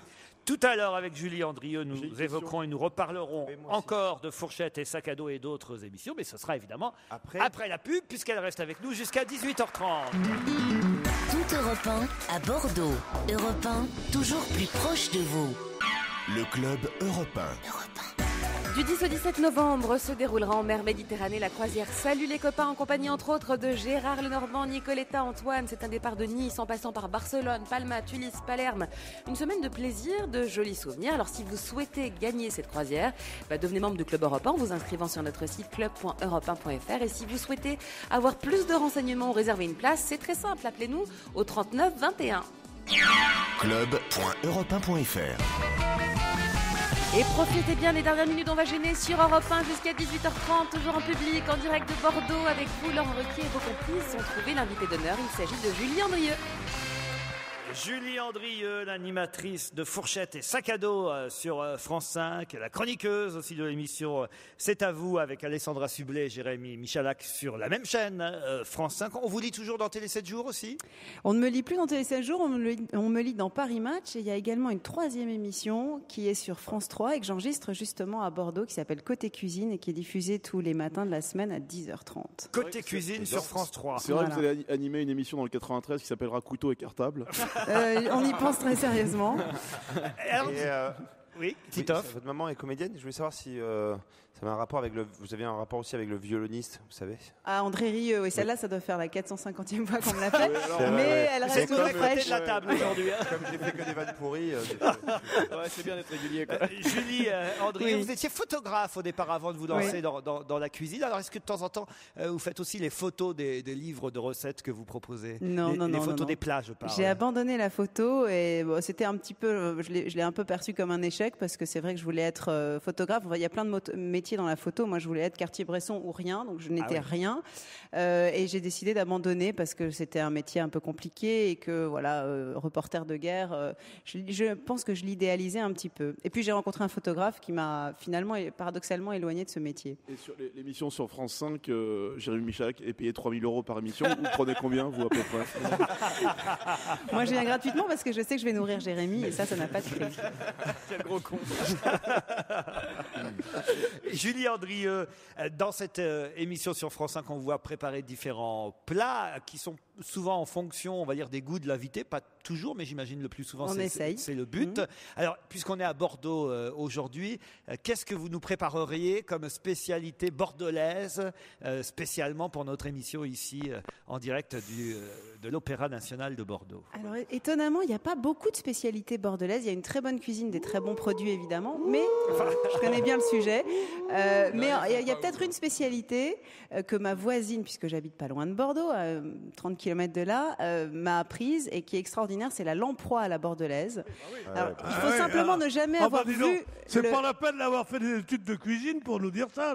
Ah bah, vous me Ah, parlez de même tradition. moi, je le savais. Mais Ah non, pourtant, moi, je suis plutôt couscous comme garçon. Moi, je connais pas, allez-y. euh, Ah bah la lamproie à la bordelaise, c'est un, c'est un poisson qui ressemble un peu à un serpent, qui a la particularité d'être très très laid et qui se cuisine avec euh, du vin rouge, des poireaux. euh, on peut rajouter éventuellement un peu de chocolat et le sang de la lamproie. Bon appétit. Eh, On est content qu'elle soit restée à Paris. en fait. C'est particulier, mais c'est vraiment local. Euh, Moi, j'aime pas, moi. Autre chose. Excusez-moi, euh, pour le chocolat, c'est combien de grammes? J'ai pas eu le temps de noter tout. Là. Je reviens juste à ma question sur les photos. Vous trouvez que c'est indispensable? Moi, c'est mon avis, mais euh, certains livres de cuisine ou de recettes sont sans photos, d'autres avec ou alors avec une photo sur deux ou sur trois recettes. Moi, j'aime bien, à chaque fois que je vois une recette, avoir la photo à côté parce que j'aime bien savoir ce que je vais préparer. Euh, Vous êtes de cet avis-là ou pas? Bah, je vais vous répondre par l'exemple. Moi, mon premier livre qui s'appelait La cuisine de Julie, que j'ai publié il y a un paquet d'années, en 98 ou 99, il n'y avait pas de photos, parce qu'il n'avait pas les moyens d'en mettre sur une inconnue. Et, euh, et c'est la meilleure vente, en fait, parmi les 17 livres, je crois, que j'ai écrits. Donc, voilà, il y, a- il y a quand même un moment, je pense qu'il y a aussi euh, peut-être une sincérité et un- Non, une mais- rencontre avec le public. Mais par ailleurs, je, suis assez d'accord avec peux- vous. Je peux dire quelque chose, mon cher Laurent, ma chère Julie, je vais vous dire quelque chose. C'est que moi qui aime bien la bouffe et tout ça, quand je vais dans des restaurants en Amérique, et maintenant ça se, ça s'étend, ça se- s'étend en France, et qu'on on- on vous montre Ah la oui. photo Ça du n'a rien à plat, voir. ça me dégoûte. Mais oui, c'est pas la même Ça me dégoûte de voir une photo de plat. J'adore la voir dans mon assiette, mais une photo. je suis c'est- d'accord. C'est comme les plats industriels. hein. En Espagne, ils font ça Comment aussi. Vous parlez de photos Mais non, mais là, je vous parle de photos dans à des voir. livres de recettes quand vous faites la recette chez Non, mais vous à la maison. ça- dans ça un aide. restaurant, je suis d'accord avec vous, c'est dégueulasse de voir la photo de ce qu'on va bouffer avant. On veut avoir la surprise. Ce type est une chose Mais atroce. non, c'est vous qui êtes de mauvaise foi. Non, mais quand, le- quand la recette est bien expliquée, il ne devrait pas y avoir besoin de photos, déjà. Voilà. Euh, Julie mais et moi, on veut pas de à photos. partir de là, on peut mais- aussi mais rêver ça, un peu. c'est- hein. Dans les C'est- livres, ça donne envie. C'est pareil pour les journaux de cul d'ailleurs. Et vous suivez les films Ouais, Bah, dans le prochain livre, il y aura plein de photos, je vous rassure. Laurent. mais euh, Ah, merci. voilà, il faut faire des De vous, de vous De moi, de moi et de Michel Guérard, puisque c'est un livre qu'on a coécrit, qui s'appelle euh, Comment briller au fourneau sans savoir faire cuire un œuf. Et Ah, ça peut m'être utile. Pas mal. oui, mais voilà, qui s'adresse évidemment à ceux qui ne savent pas cuisiner, également ceux qui, qui ont envie de cuisiner, et qui ont déjà quelques bases, mais euh, on s'adresse vraiment aux profanes. Moi, je cherche un livre de cuisine, mais euh, selon la saison. Par exemple, des recettes que pour l'automne avec les, les fruits et légumes d'automne. Où on ou- cuisine beaucoup Mais on vous a passé le bouquin ou pas. Pardon On vous a passé le bouquin parce qu'il est structuré comme ça, par saison, justement. On l'a Et moi j'ai vu. il y avait Faut une faire émission, j'ai vu ça en Angleterre, je crois, ils font une émission euh, Ah. culinaire comme ça, où les animatrices, enfin les cuisinières sont nues en fait pendant l'émission. Suis- Mais on me l'a jamais demandé, mais je suis pas contre. hein. Ah ouais Oh. Ok, bah lundi, on sait ce qu'on fait sur mais sous France le 5. tablier. C'est bon, regardez tout ça 19h lundi. hein. Oh non, je veux pas voir ça. Ah bah moi je veux bien. Non, je parlais pas de Julien Drieux, je parlais de vous. hein. Elle est tellement bien élevée, elle a tellement de classe et de charme qu'elle décourage la vulgarité. Et avec ces types-là, croyez-moi, Et on- il en. Pierre. C'est vrai, c'est vrai. Non, Mais qu'est-ce qui drague le Bénichou Non, alors je drague pas, j'emballe. C'est pas pareil. Ah, la- C'est vrai que c'est fait depuis longtemps avec Pierre. Et par contre, Comment ça s'est fait depuis longtemps Ah, Je veux dire sentimentalement. Ah oui, sentimentalement. Bien sûr, tu penses bien que. On s'embrasse comme du bon pain, on vous l'a Julie, dit. Bien sûr, on dit rien. Est-ce que vous avez toujours un site internet aussi à votre nom, Oui, Julien oui, Drieux absolument. Oui. Et ça, ça se développe de plus en plus. Les gens vont sur Internet pour faire, les, pour faire leurs recettes à la maison. Entre autres, ouais, sur Internet, euh, bah, c'est vrai que ouais, j'essaye de diffuser mes recettes euh, par plein de, de- de médias et de moyens possibles, mais, euh, mais Internet, oui, évidemment. Et un restaurant Vous avez un restaurant Ah non, non, non, par pitié. Je crois que comédienne et restauratrice, ce sont peut-être les deux métiers que j'ai pas envie de faire du tout. J'en connais trop aussi. les travers. Mais votre maman avait tenu, enfin en tout cas Oui. ouvert un restaurant, je crois. hein. Oui, oui, absolument. Alors maman, elle a jamais tenu une poêle, hein, mais cela dit, ça n'empêche pas d'être restauratrice et c'était une très bonne restauratrice. Euh, elle accueillait les gens, elle était là tous les soirs, mais elle avait un chef et c'était un, un délicieux restaurant. Mais, euh, mais maintenant, elle a, voilà, elle a- elle a un certain âge, elle en a eu un peu marre. Et, euh, mais moi, j'ai pas pour l'instant, en tout cas, envie de- de- d'être chef dans un restaurant Et- parce que ça m'enfermerait entre quatre murs. C'est un très beau métier, mais moi, j'ai envie de continuer à, à varier, justement, comme je vous le disais, les, les supports et puis surtout à continuer de voyager. Donc, c'est je sais pas. hein. Oui, oui. Dernière question. Oui, alors. oui, je sais pas si vous êtes avec quelqu'un, si vous êtes marié ou pas, enfin peu importe, mais Non. si quand vous êtes avec quelqu'un, j'imagine que vous faites goûter tous les plats à votre, euh, votre compagnon, non? Ouais, ouais, ouais, je fais goûter tous les plats à mon Et donc- compagnon, à mes amis, et et quand ce il est sont mes obèse, cobayes. vous le- Quand il est obèse, vous le quittez, quoi, c'est ça? Bon, Non, c'est lui qui me quitte, en les général. demain matin. hein, que- On va applaudir et remercier Julien Andrieux que vous retrouvez beaucoup. sur France 3, sur France 5 et dans Paris Match. Et aussi sur son site internet en attendant son prochain livre. Merci Julien Andrieux, notre invité d'honneur ce vous. soir. Et merci à Bordeaux, à toute l'équipe technique d'Europe 1 qui nous a permis de réaliser cette émission ici ce soir. Amis bordelais.